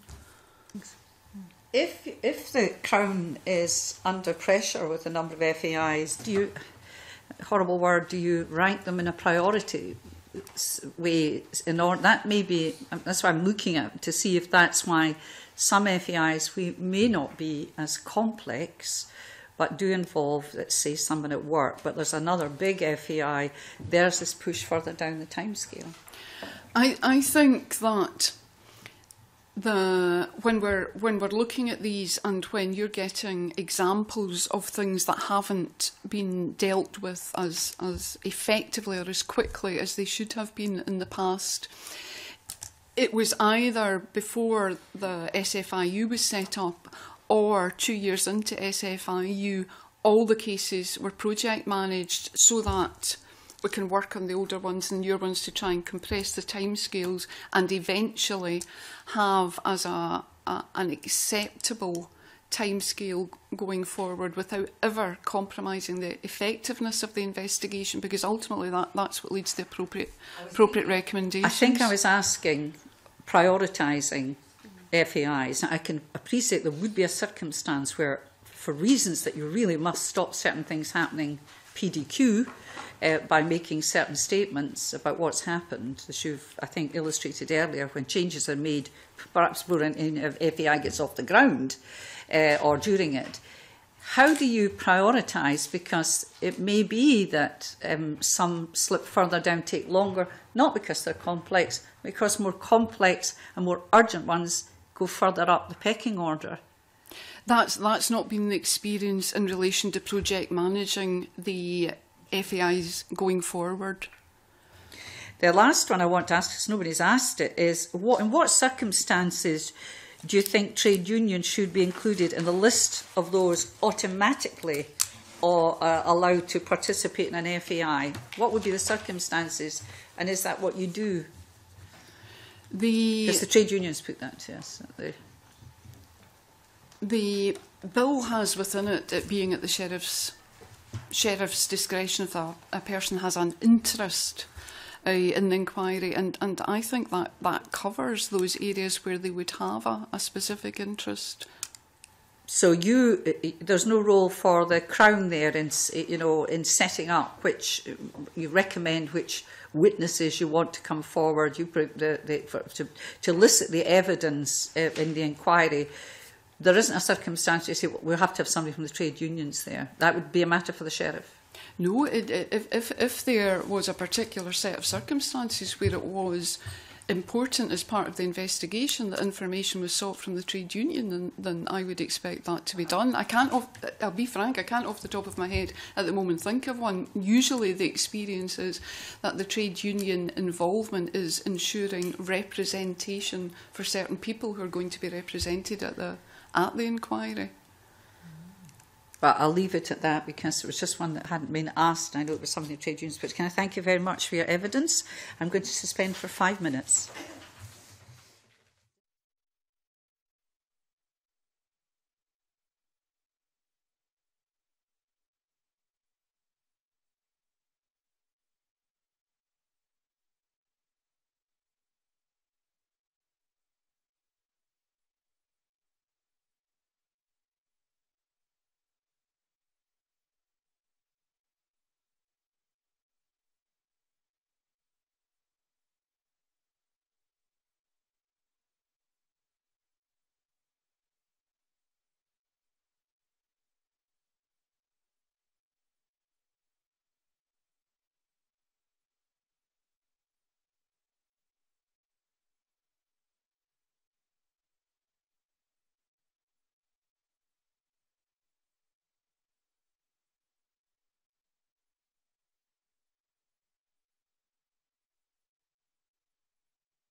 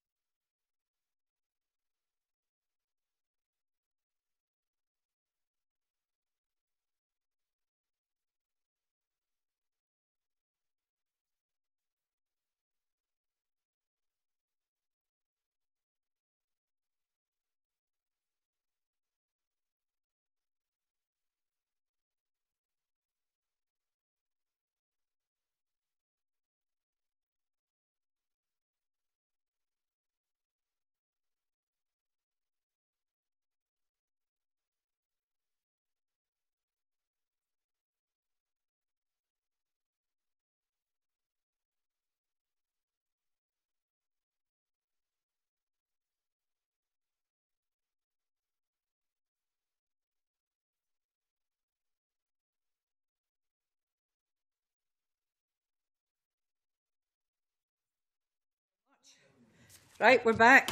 Um, uh, we're now on to our second panel of witnesses, and we have uh, Paul Wheelhouse, Minister for Community Safety and Legal Affairs, and Scottish Government officials Hamish Goodall and Marissa Strutt, both Policy Officers, Civil Law and Legal System Division, and Greg Walker, Sister, Directorate for Legal Services.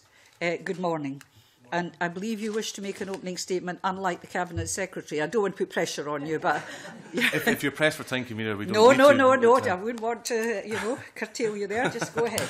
That'd be helpful, thank you.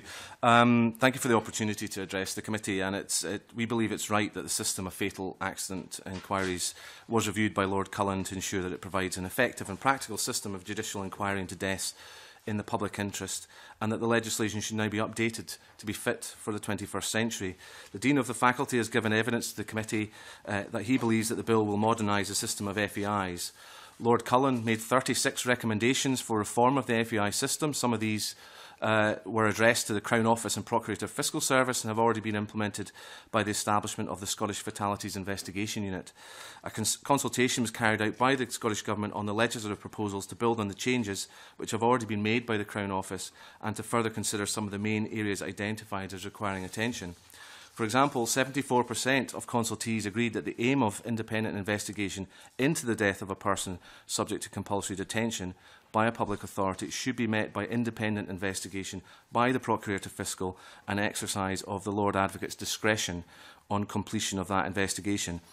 80% of those who responded agreed with Lord Cullen uh, that mandatory timescales for the opening of an FEI are not practical or realistic uh, due to the diversity and complexity of FEIs.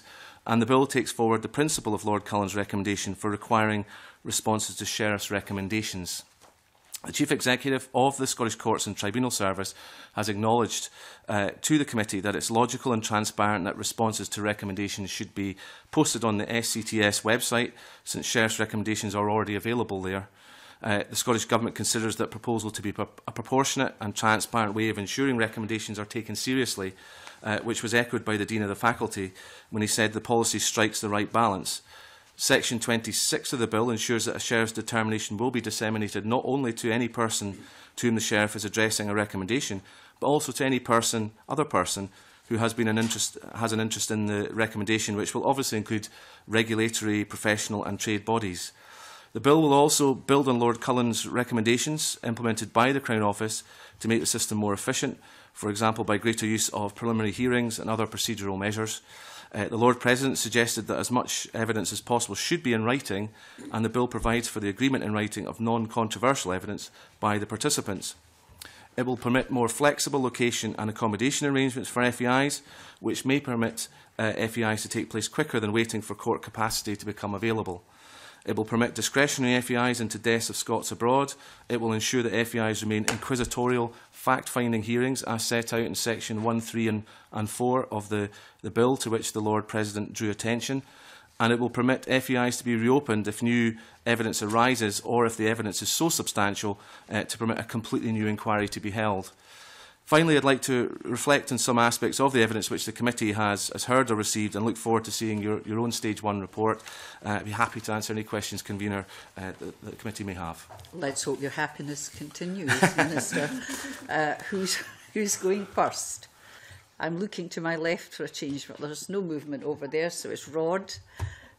Thank you. And then Christian, then Elaine, and now I'm looking to my left and there's still no movement. Yes, there is. Jane. Right.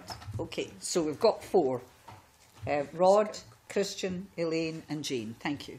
Uh, morning, Minister. Could I perhaps just kick off with a question about um, deaths uh, of people who are compulsory detained for mental health reasons? Um, the policy memorandum details the graduated skill of investigations which the Royal College of Psychiatrists operate under uh, paragraphs 116 and 117. We've heard from a large number of witnesses with concerns about the human rights aspect of that. And we heard from the Scottish Human Rights Commission and indeed from the Mental Welfare Commission itself that they had concerns that Article 2 requirements are missing from the Graduated School of Investigations. Um, is there anything that you can add uh, to reassure people about the human rights implications of continuing as we are? Well, it's obviously a really important point. Um, such deaths are clearly already subject to, and you mentioned, uh, Rod Campbell mentioned the Mental Welfare Commission and, and others and who, who have a role in this, they're already subject of investigation by the Procurator Fiscal and the Lord Advocate. Uh, has discretionary power to hold an FEI into such deaths when it's considered to be in the public interest. And as I said in the, my opening remarks, 74% of respondents to the consultation favoured the retention of an investigation by the Procurator Fiscal and the exercise of discretion by the Lord Advocate and completion uh, of the investigation to instruct an FEI if he thinks uh, one is, is, is required. Um, we're aware that the Lord President also uh, agreed that the current discretionary power is sufficient, and he said, and I quote him here, I think that we're in danger of imposing unnecessary rigidity on the system. The system by which the Crown makes investigations and form judgments is, I think, the best model. Um, but I do take on board the serious concerns people have about human rights when someone is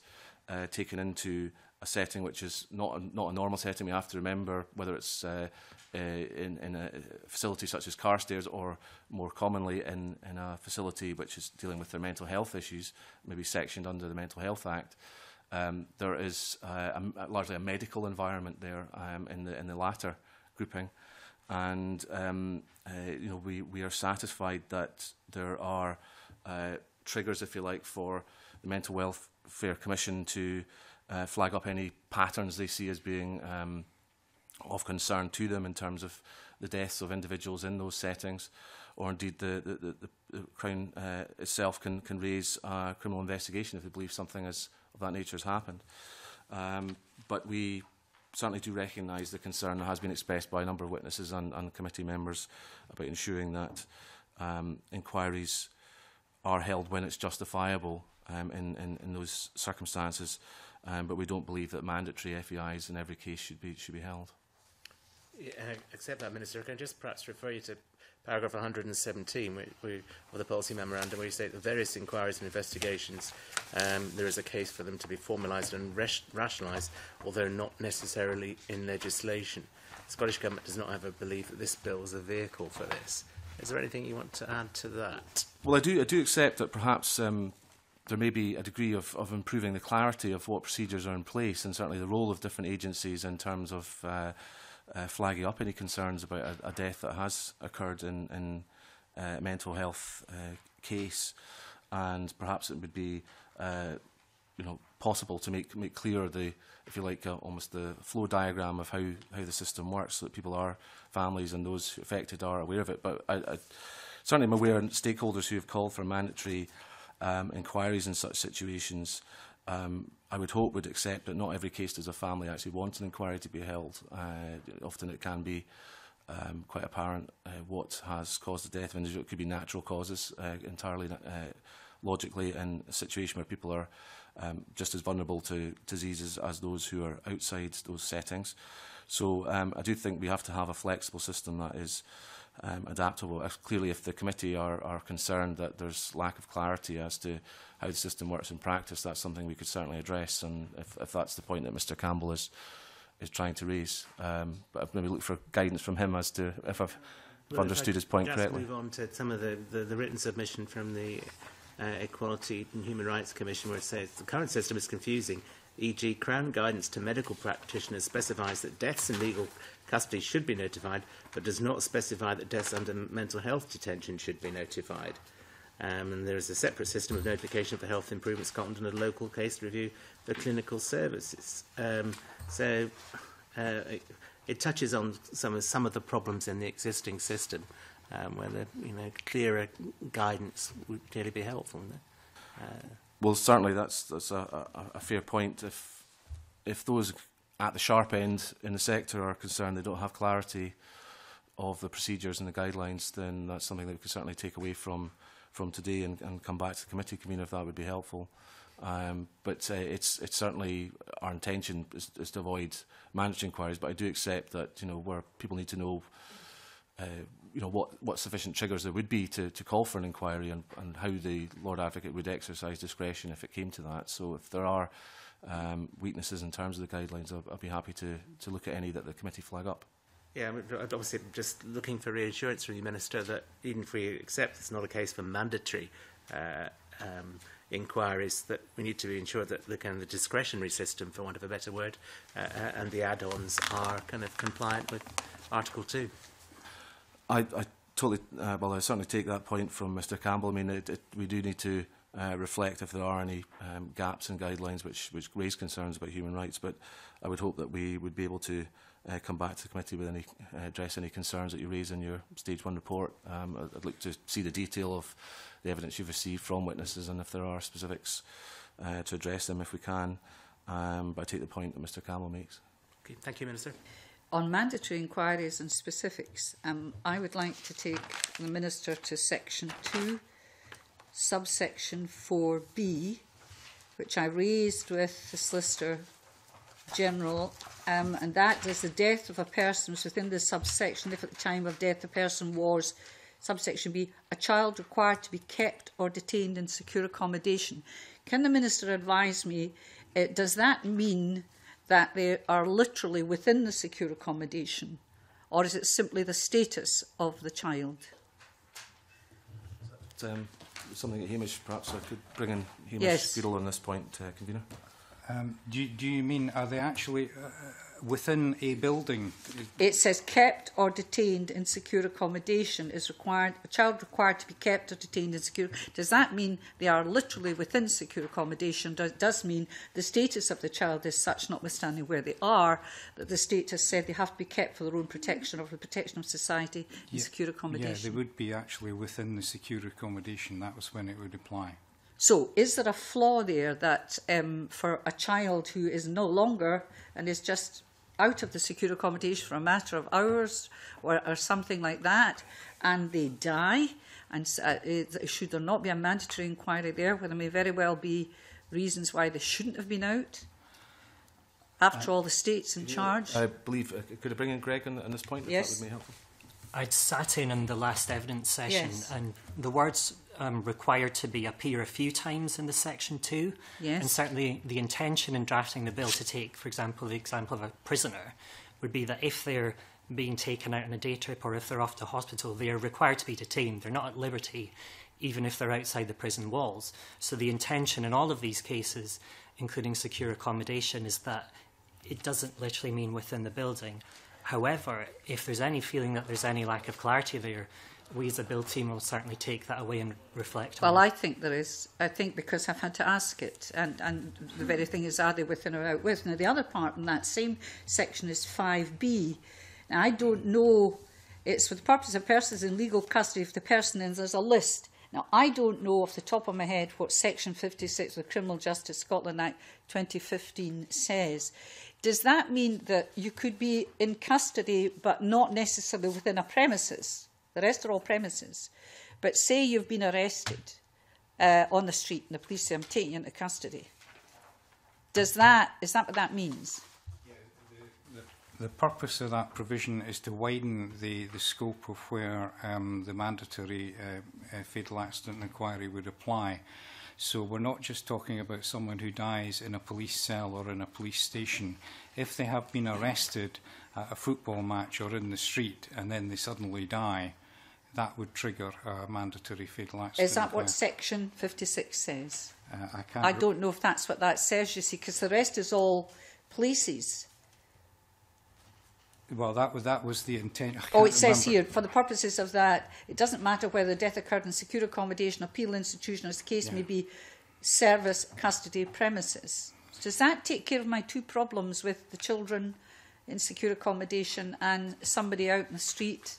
perhaps under arrest with the police who dies, the both would be mandatory. Does that take care of that? It certainly takes care of the one in relation to police custody. Um, that was the, the, the, this this amendment was made to the legislation at the request of uh, well Lord Cullen recommended it but it was at the request of the Association of Chief Constables yes. in Scotland and they pointed out that there was a slight um, discrepancy in the law uh, at, uh, at, uh, under the existing legislation, um, it only applied to police cells, police stations, but this widens it so that it's in police custody out with police stations.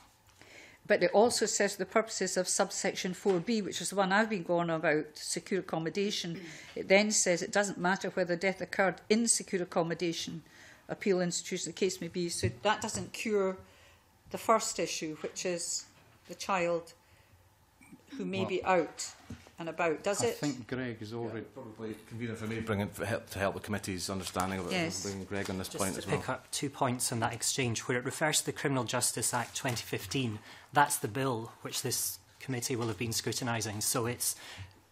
it's contingent well, on that. Well, we're scrutinising an awful lot, so you'll need to remind yeah. me what that section actually says. I think says. first things first, if that act becomes enacted, yes. then you know, as Hamish describes, the intention is for it to cover roadside detention and such right. like. So that's that one sorted. And I think the subsection six, which has just been brought up,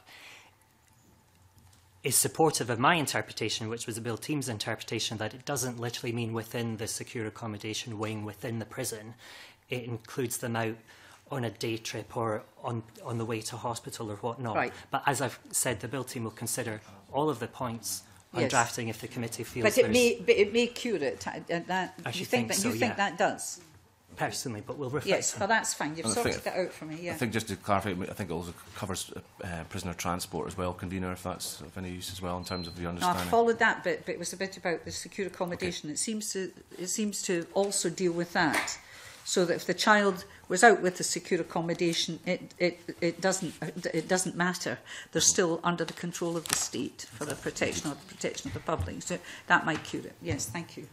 That's, I'm happy now. I can't, I don't want to know any more about it. It's Christian, Elaine and Jane.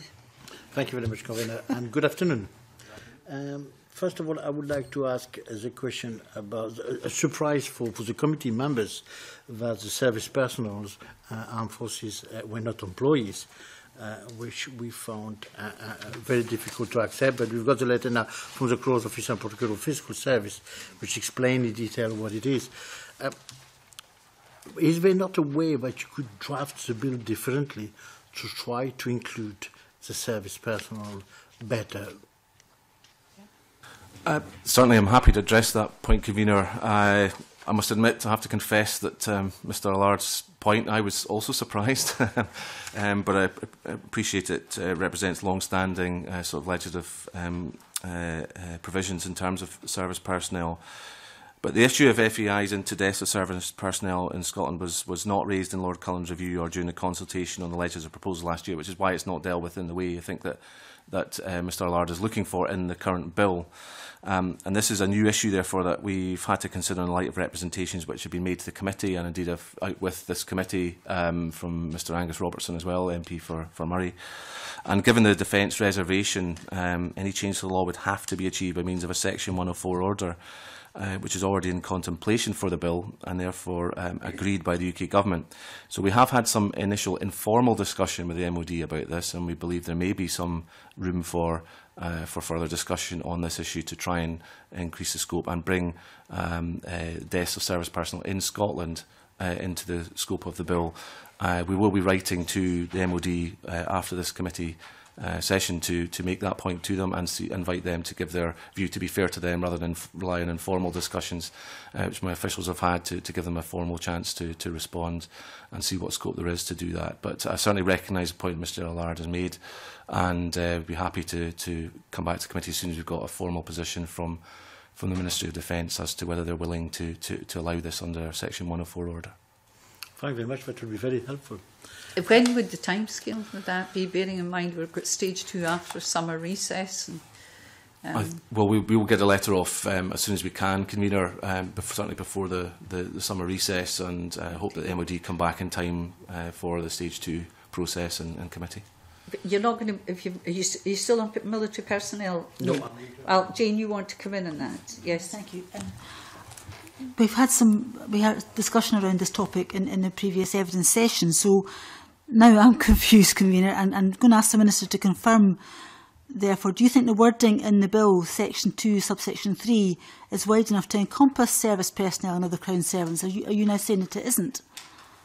What, what I'm saying, I mean, I, I, we can maybe invite um, Mr Goodall to come in after I've, I've completed speaking, but just to um, uh, say that we, uh, okay. we, we believe that because this is a a new issue we haven't addressed in the bill as it stands, that it, uh, because it's a reserved issue, we will need UK government consent for a Section 104 order.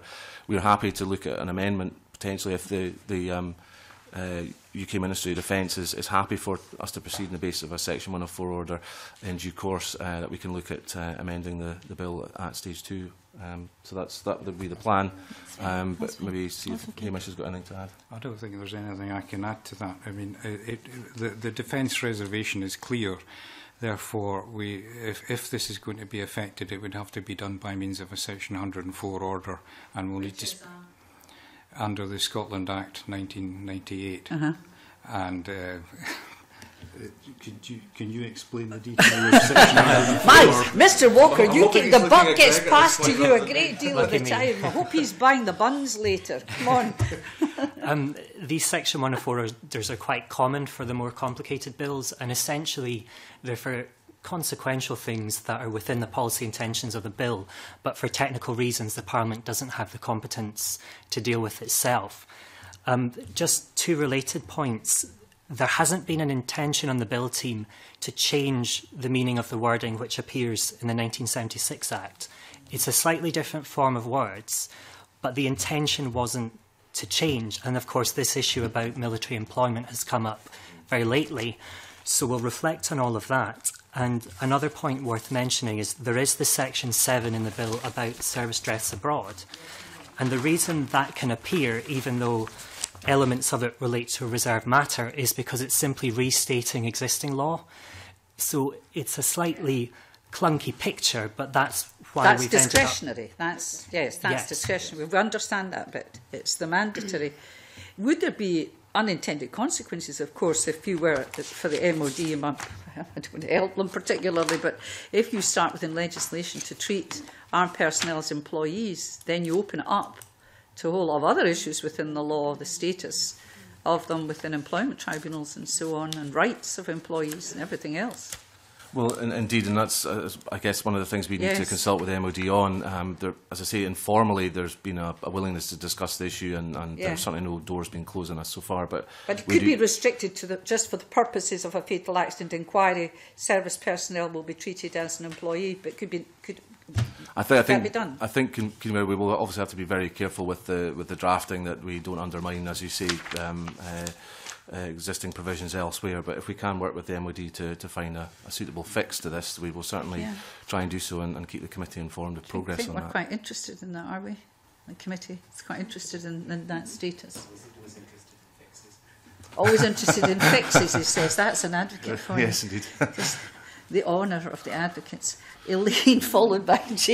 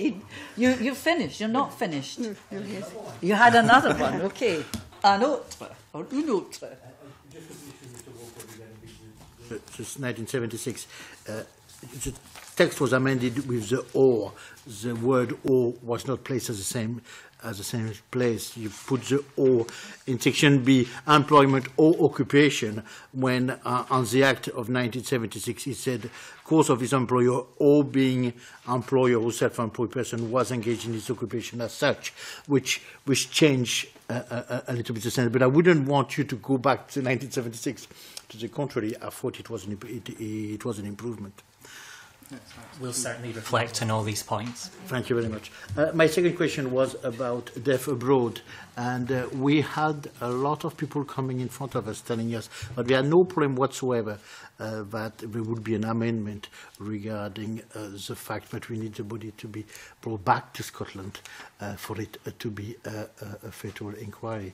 So would, would the government be willing to move on that point? Well, um I certainly recognise this issue. I mean, I've I've had the um, honour of meeting some of the parents, uh, Mr. and Mrs. Beveridge, who lost their son Blair Jordan, um, and uh, you know, uh, very very grateful for them explaining the process from their point of view and the, and the, and the weaknesses here.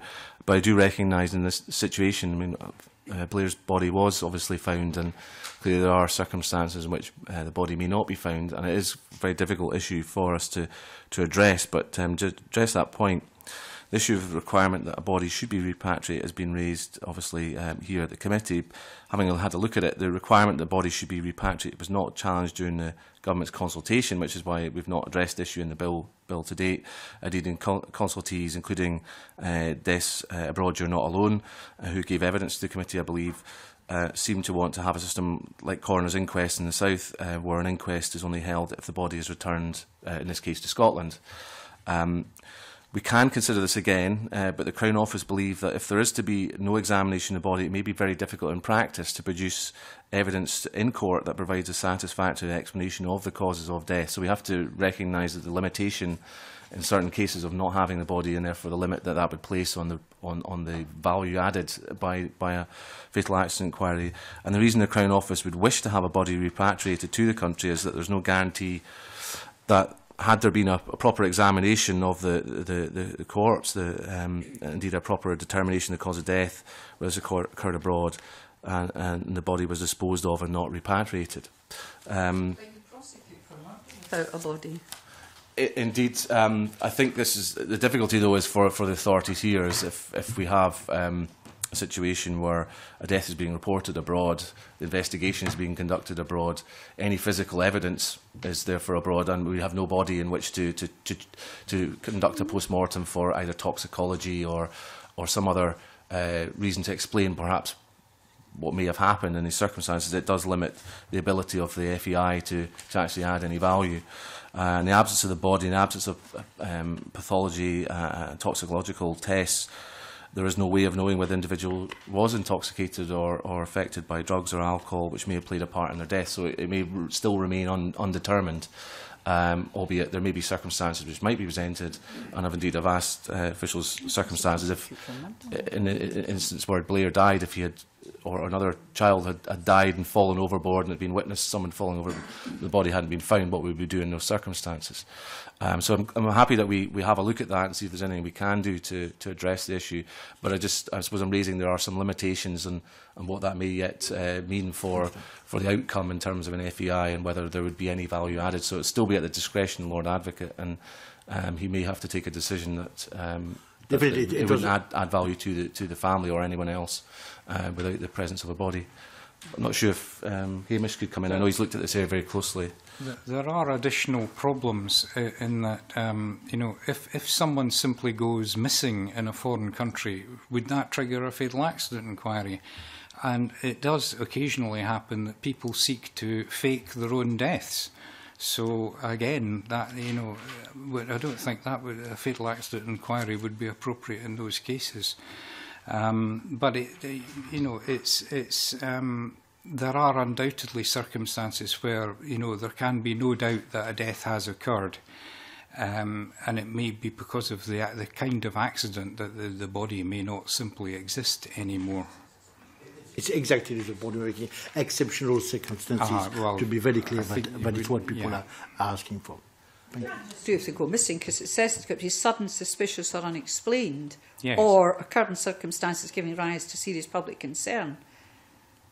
Yeah. Uh, uh so certainly, it wouldn't just be if they went missing.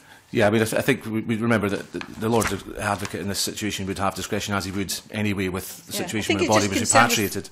Um, so maybe it'll be the Lord advocate could, could say, well, actually, in circumstances, I think there is maybe a case for investigation. Um, but we'd have to be realistic about what that might be able to yield with the absence of the body. It will limit. Mm the, uh, inevitably the, the scope of the, the investigation back home because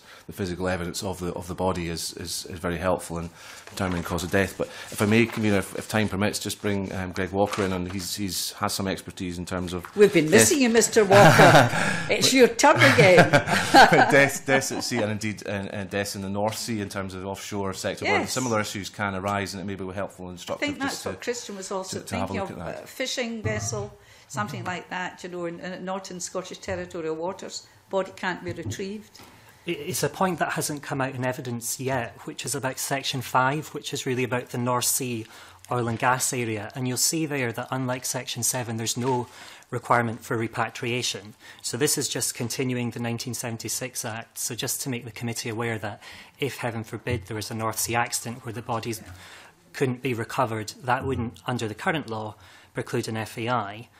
But I imagine the distinguishing factors from abroad abroad are you're dealing with an area of Scots law, you're dealing with eyewitnesses who speak in English, who can speak the fiscal and so on. It's quite different from being in, the, in an oil operation on the other side of the world. On the other hand, you wouldn't want, uh, uh, uh, having reformed the law if this goes through, you wouldn't want to have a circumstance where there's a death abroad which fulfills all the criteria as to whether or not the um, Crown should the uh, Crown should uh, have an FAI. Um, and but just simply because there's no body, you could still establish the cause of the cause of death uh, uh, and have an inquiry into it. You wouldn't want to be in that position. It might be very rare, but that's the things that the law tends to throw up the unexpected when you think you've got everything I, I, absolutely in place. I agree, convener, and, and I, I suppose that's why uh, because it was. Um, I, I'd heard so much uh, testimony from Mr and Mrs Beveridge about Blair's case, it kind of sprung to mind there could be a situation where uh, again, you know, a British registered vessel, um, you know, so there's a good prospect of getting co uh, cooperation from the company yes. involved, which we probably yes. would have had in that situation, and uh, that, uh, you know, there was an unexplained death. But in this case, if somebody had perhaps seen, uh, or at least an eyewitness had seen something like, you know, the, the uh, or heard a splash or heard someone shouting as they fell overboard or something like that, you, you might have had reason to believe that had happened that would allow you to, to understand that a death had occurred or most likely to have occurred and and then perhaps uh, it'd be worth investigating how that death had occurred in terms of the, yeah. the nature of the, the incident that led to the individual falling overboard. So I think you know we we are flexible in this, but we'll look to see what we can do. We just want to be realistic with the committee and not not no, um, you know give right. false false expectations that it would automatically lead to, to an explanation as to the death. Uh, it's going to be more far more difficult without the body, unfortunately. Elaine, followed by Jean, please. Yes, can, uh, in your opening statement, Minister, you gave some indication as to why you thought that the Sheriff's recommendation should be published on the SCTS e website rather than on the Scottish Government's own website. Would you expect SCTS e to have to monitor compliance with the Sheriff's recommendations? Well, we certainly, um, uh, you're, you're, correct in that we, I made a point in my opening remarks and I, I firmly believe that it would be advantageous for SCTS uh, to, to publish um, the uh, response to the Sheriff's recommendations. I think it it uh, probably does, I don't want to overstate the point, but it probably does give more credibility to the whole process if the sheriff is giving recommendations and then people responding to the sheriff as to whether they are or, or, or not going to be taking forward those recommendations and why not in the case of not taking them forward. So I think that, that helps the process. Um, in terms of the, the um, point you make about uh, the uh, monitoring of those recommendations, uh, it probably would be the case that um, it would be uh, a resource issue that I suppose that the SCTS e would, would face in terms of monitoring them. But Section 26 of the bill provides for the dissemination of the sheriff's determination to each person to whom a recommendation is addressed and any other person whom the sheriff considers has an interest in the recommendation. And this clearly could include any regulatory body um, with power to implement change, possibly on a UK-wide basis. So I would hope that you know if it, if it did have implication for health and safety or did have health implications for maybe uh, environmental issues, that the, regulatory bodies would, would be monitoring the, the uh, performance of the person to, or persons to whom the recommendation be made as to whether they took forward the steps that have been recommended by the sheriff. So in some way, shape or form, a relevant organisation or body would, would monitor progress. But as a whole, uh, I think the, the issue you may be getting at as to whether SETS e should be monitoring the performance overall of the recommendation made as to how many of them are, are followed through. I don't think it would be um, realistic for us to expect SCTS to do that within their resource. Yeah. In that case, would you uh, envisage that the Lord Advocate or possibly yourselves as Scottish ministers would have an oversight role? Well, I think the, the difficulty in, in relation to the um, uh, the government uh, or indeed the Lord Advocate as the Scotland Senior Law Officer doing that is that there's no sort of policy intention in the, in the bill uh, to monitor recommendations centrally. Um, each set of recommendations is is um, is in respect to an individual inquiry and is particular to that situation. Albeit, I guess if they're being recommendations are then disseminated to a regulated body, they probably have wider implications which are being flagged up to to that regulatory body. And I would hope they're addressed at that point by that body rather than uh, by the Lord Advocate having to to to push the case or indeed uh, myself uh, or another minister. Um, but clearly, we would have an interest in uh, anything which had implications for Scottish Government policy, and we, indeed, it's possible that the, the, the Sheriff may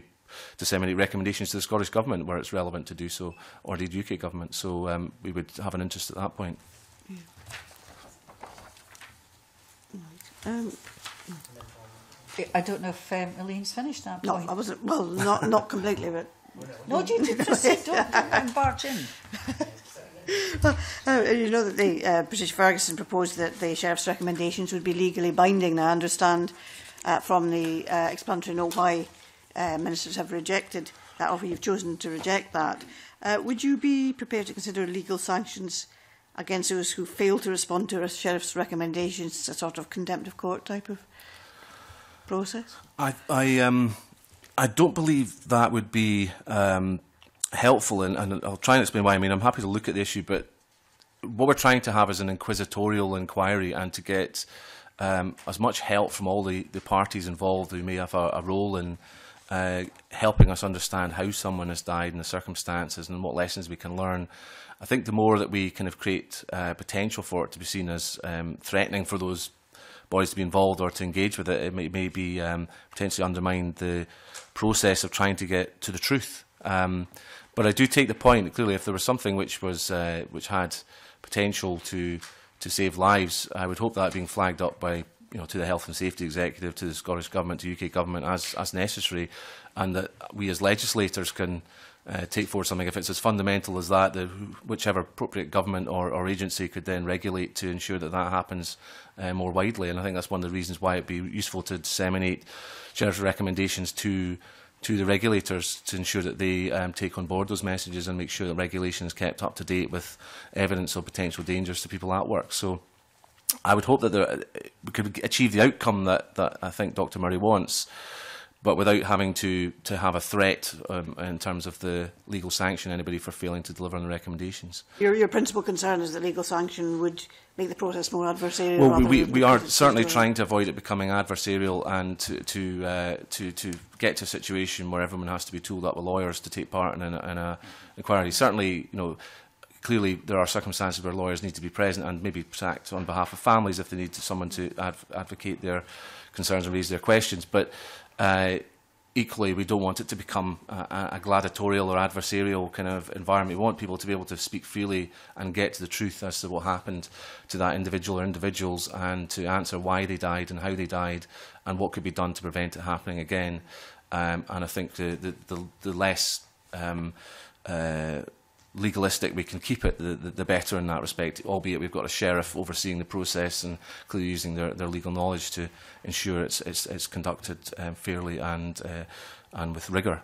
Uh, but we want to avoid a situation where it's, it's seen as being um, uh, you know, a, a challenging setting in that sense and people start close, close up the doors and bring down the shutters and don't want to participate.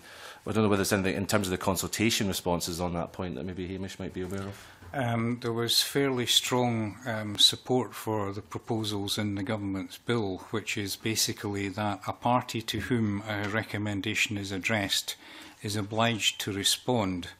Now, they don't have to comply with the sheriff's recommendation, which, after all, is only that, it's only a recommendation. It doesn't bestow rights and obligations.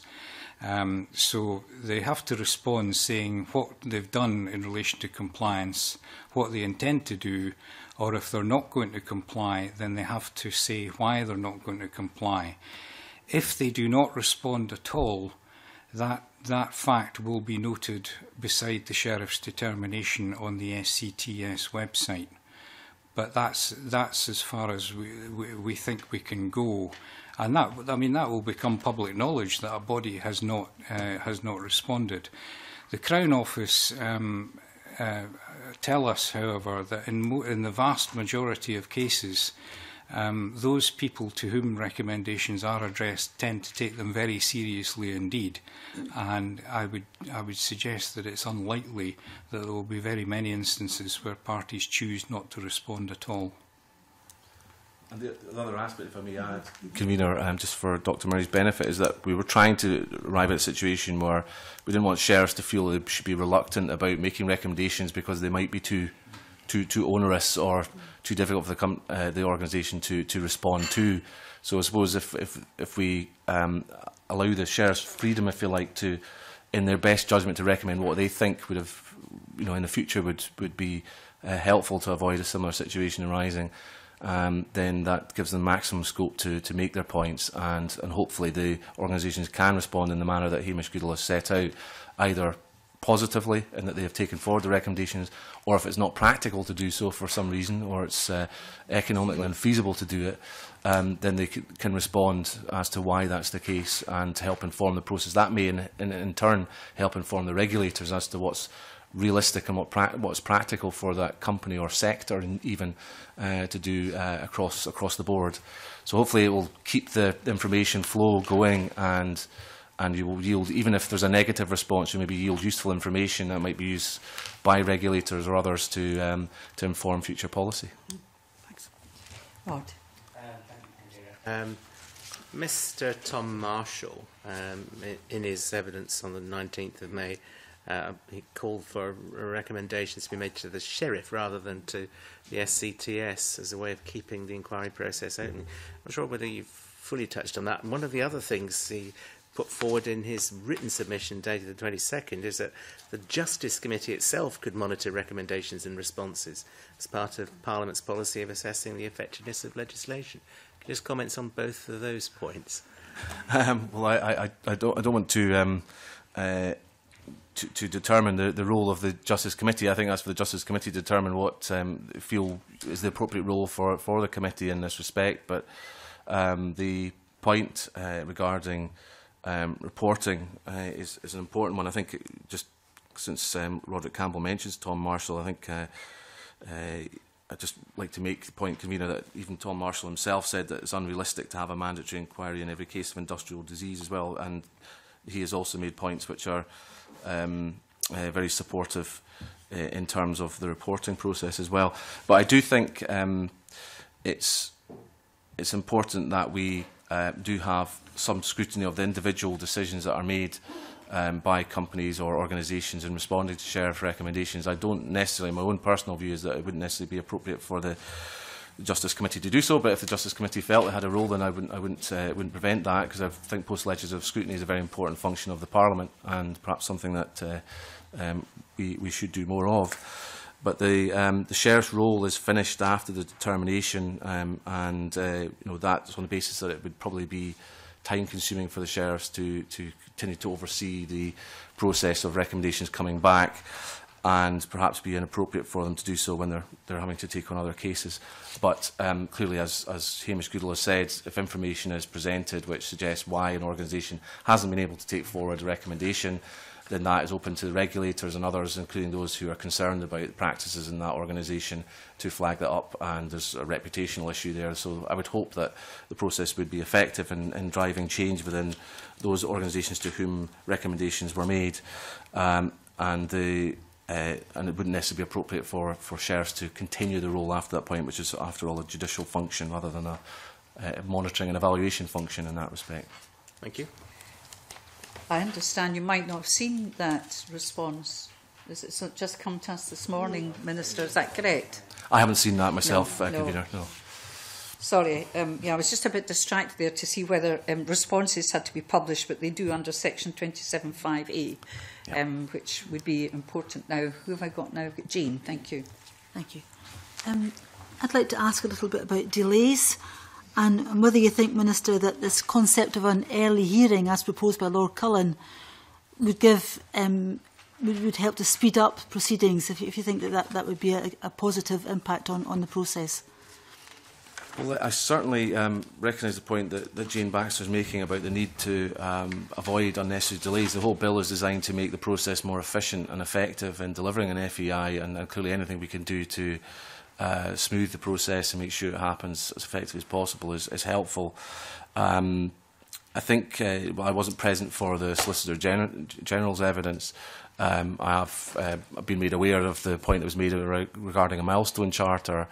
Uh, and I think that's a constructive suggestion, which obviously Solicitor General is going to come back to the committee with more detail, I understand, on, on that. Um, uh, that, in, its sen in a sense, will help ensure that, um, I think at a three-month interval, the Solicitor General is referring to, that there would be um, reviewed by the Crown Office itself of where they're at with the inquiry, what needs to be done um, in terms of making sure it happens, and to ensure the minimum delay in the process. So I, I think that's a very constructive suggestion. It would, I, I would hope, largely uh, deal with the intent behind Lord Cullen's recommendations in that respect. And it's also worth stating, just, just for the record, that, that the Crown Office have made, um, I believe, significant efforts in recent years to keep families themselves better informed about uh, the progress of death investigations, and therefore we don't believe, um, uh, open to, to points being made by the committee, obviously in its report, but we don't believe there is therefore a need to hold such hearings in every case, which is what's suggested by Lord Cullen.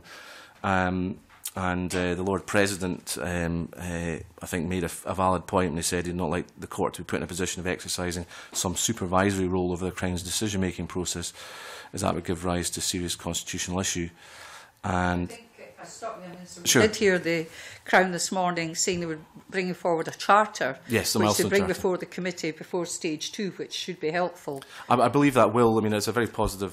uh, move by the Solicitor General, and I think it will help uh, deal with the the the intent, I, I imagine, of committee members to make sure that families are well yeah. informed and that everything is done to, to bring forward inquiries as quickly as it can be. The flexibility in the bill, actually, about accommodation should also help in that respect, I believe. Thank you. And just lastly, do, do you think that COP, COPFS is adequately resourced to take on these, not new roles, but, but um, enhancements to the role? Do you think they, that, that will become a, a resource implication as time goes on? Well, well clearly, um, I, would, I would hope that any pro problems that are uh, raised by the Crown Office in terms of resourcing of that would be raised at the Justice Board and would be dealt with um, uh, at that level and, and recommendations come forward, but any changes are necessary. But I believe it is an efficiency measure that it will help in terms of the proposal that the uh, Solicitor General has brought forward will help ensure that um, there's good coordination of the, the commencement of an inquiry that uh, minim minimise any risks of uh, potentially unnecessary costs by you know, delays or, or um, any problems in the initial process. So that, in a sense, could be seen to be preventative spend in some ways, that it will make sure the inquiry happens more smoothly and appropriate location and, uh, and resourced appropriately. So I would hope that it wouldn't be particularly onerous on, on the Crown Office, but clearly if there are issues as, as uh, the uh, legislation is applied, then we would keep that uh, under close watch and, and help if necessary uh, with the Crown Office. Um, and uh, just uh, just to raise the point that the Crown Office have obviously aware of the bill, they have looked at the financial uh, memorandum and, and, and are comfortable with the, the figures in there.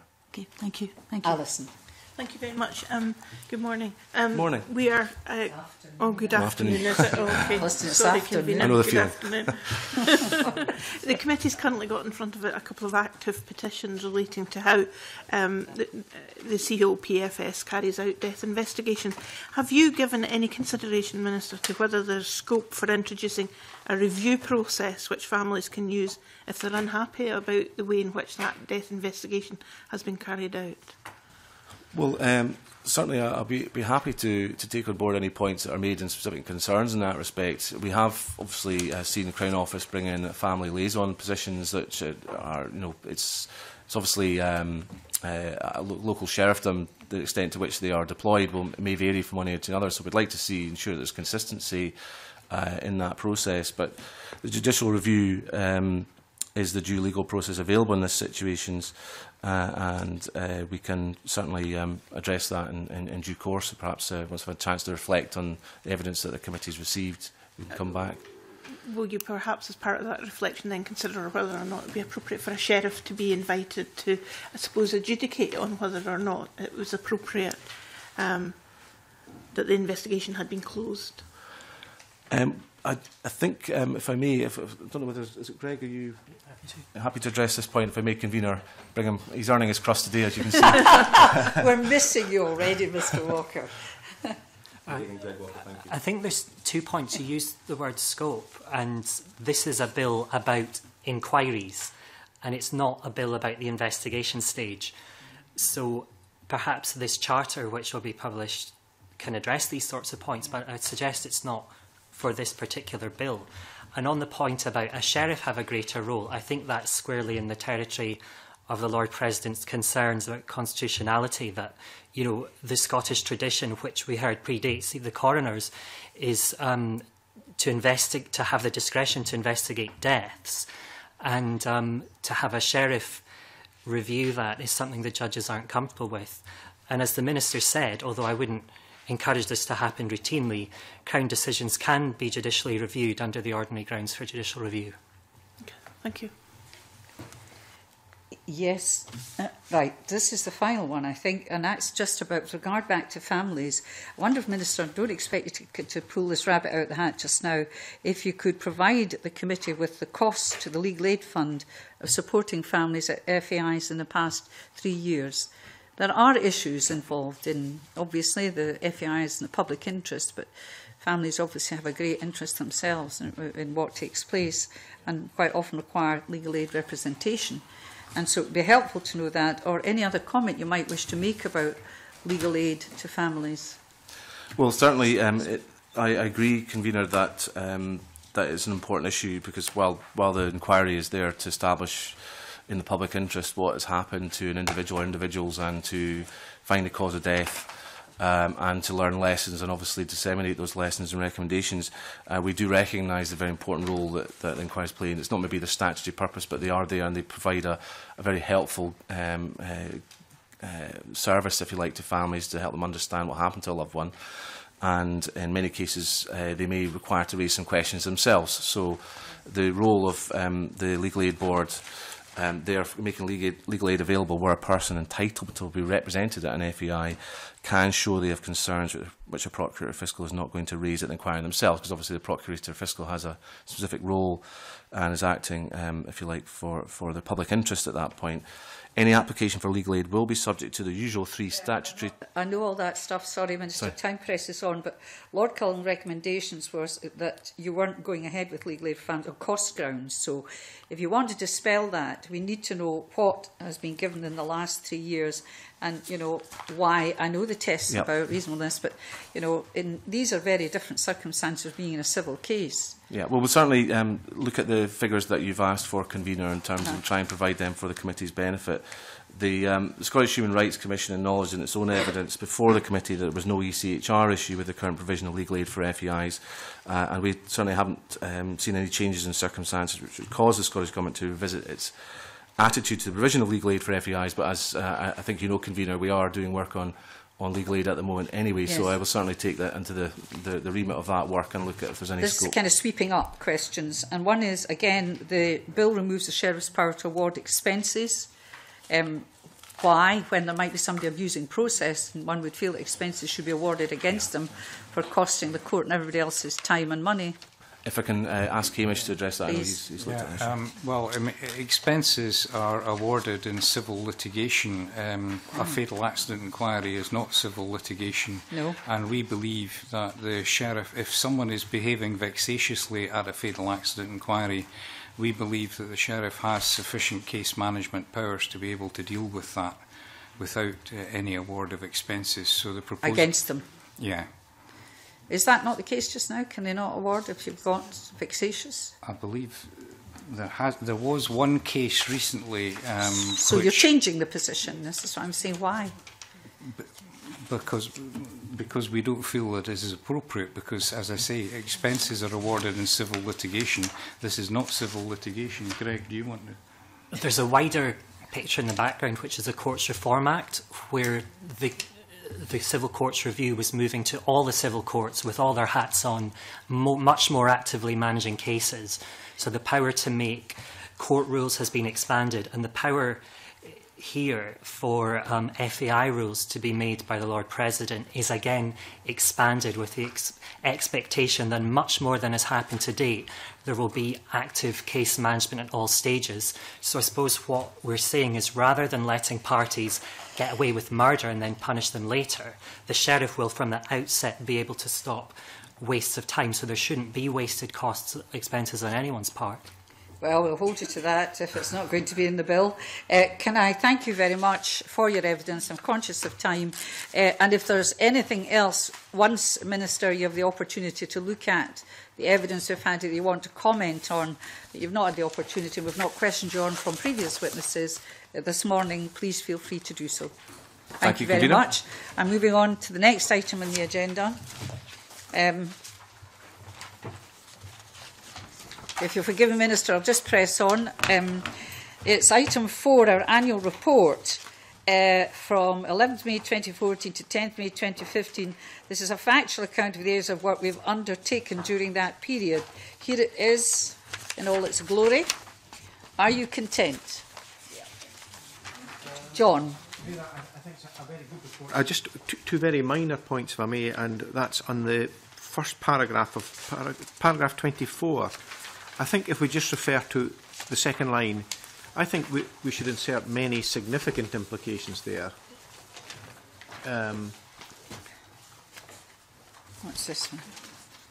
Yes, that's all right. Yes, I, if everybody's agreed, the significant implications the opt-out would have. And one other small point, if I may, too, and that is paragraph 32.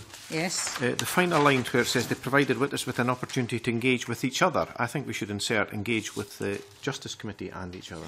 yes, it's rather like we were sitting having yeah, cups of tea we were buns. spectating. Okay. we just spectating. So uh, that's a sort of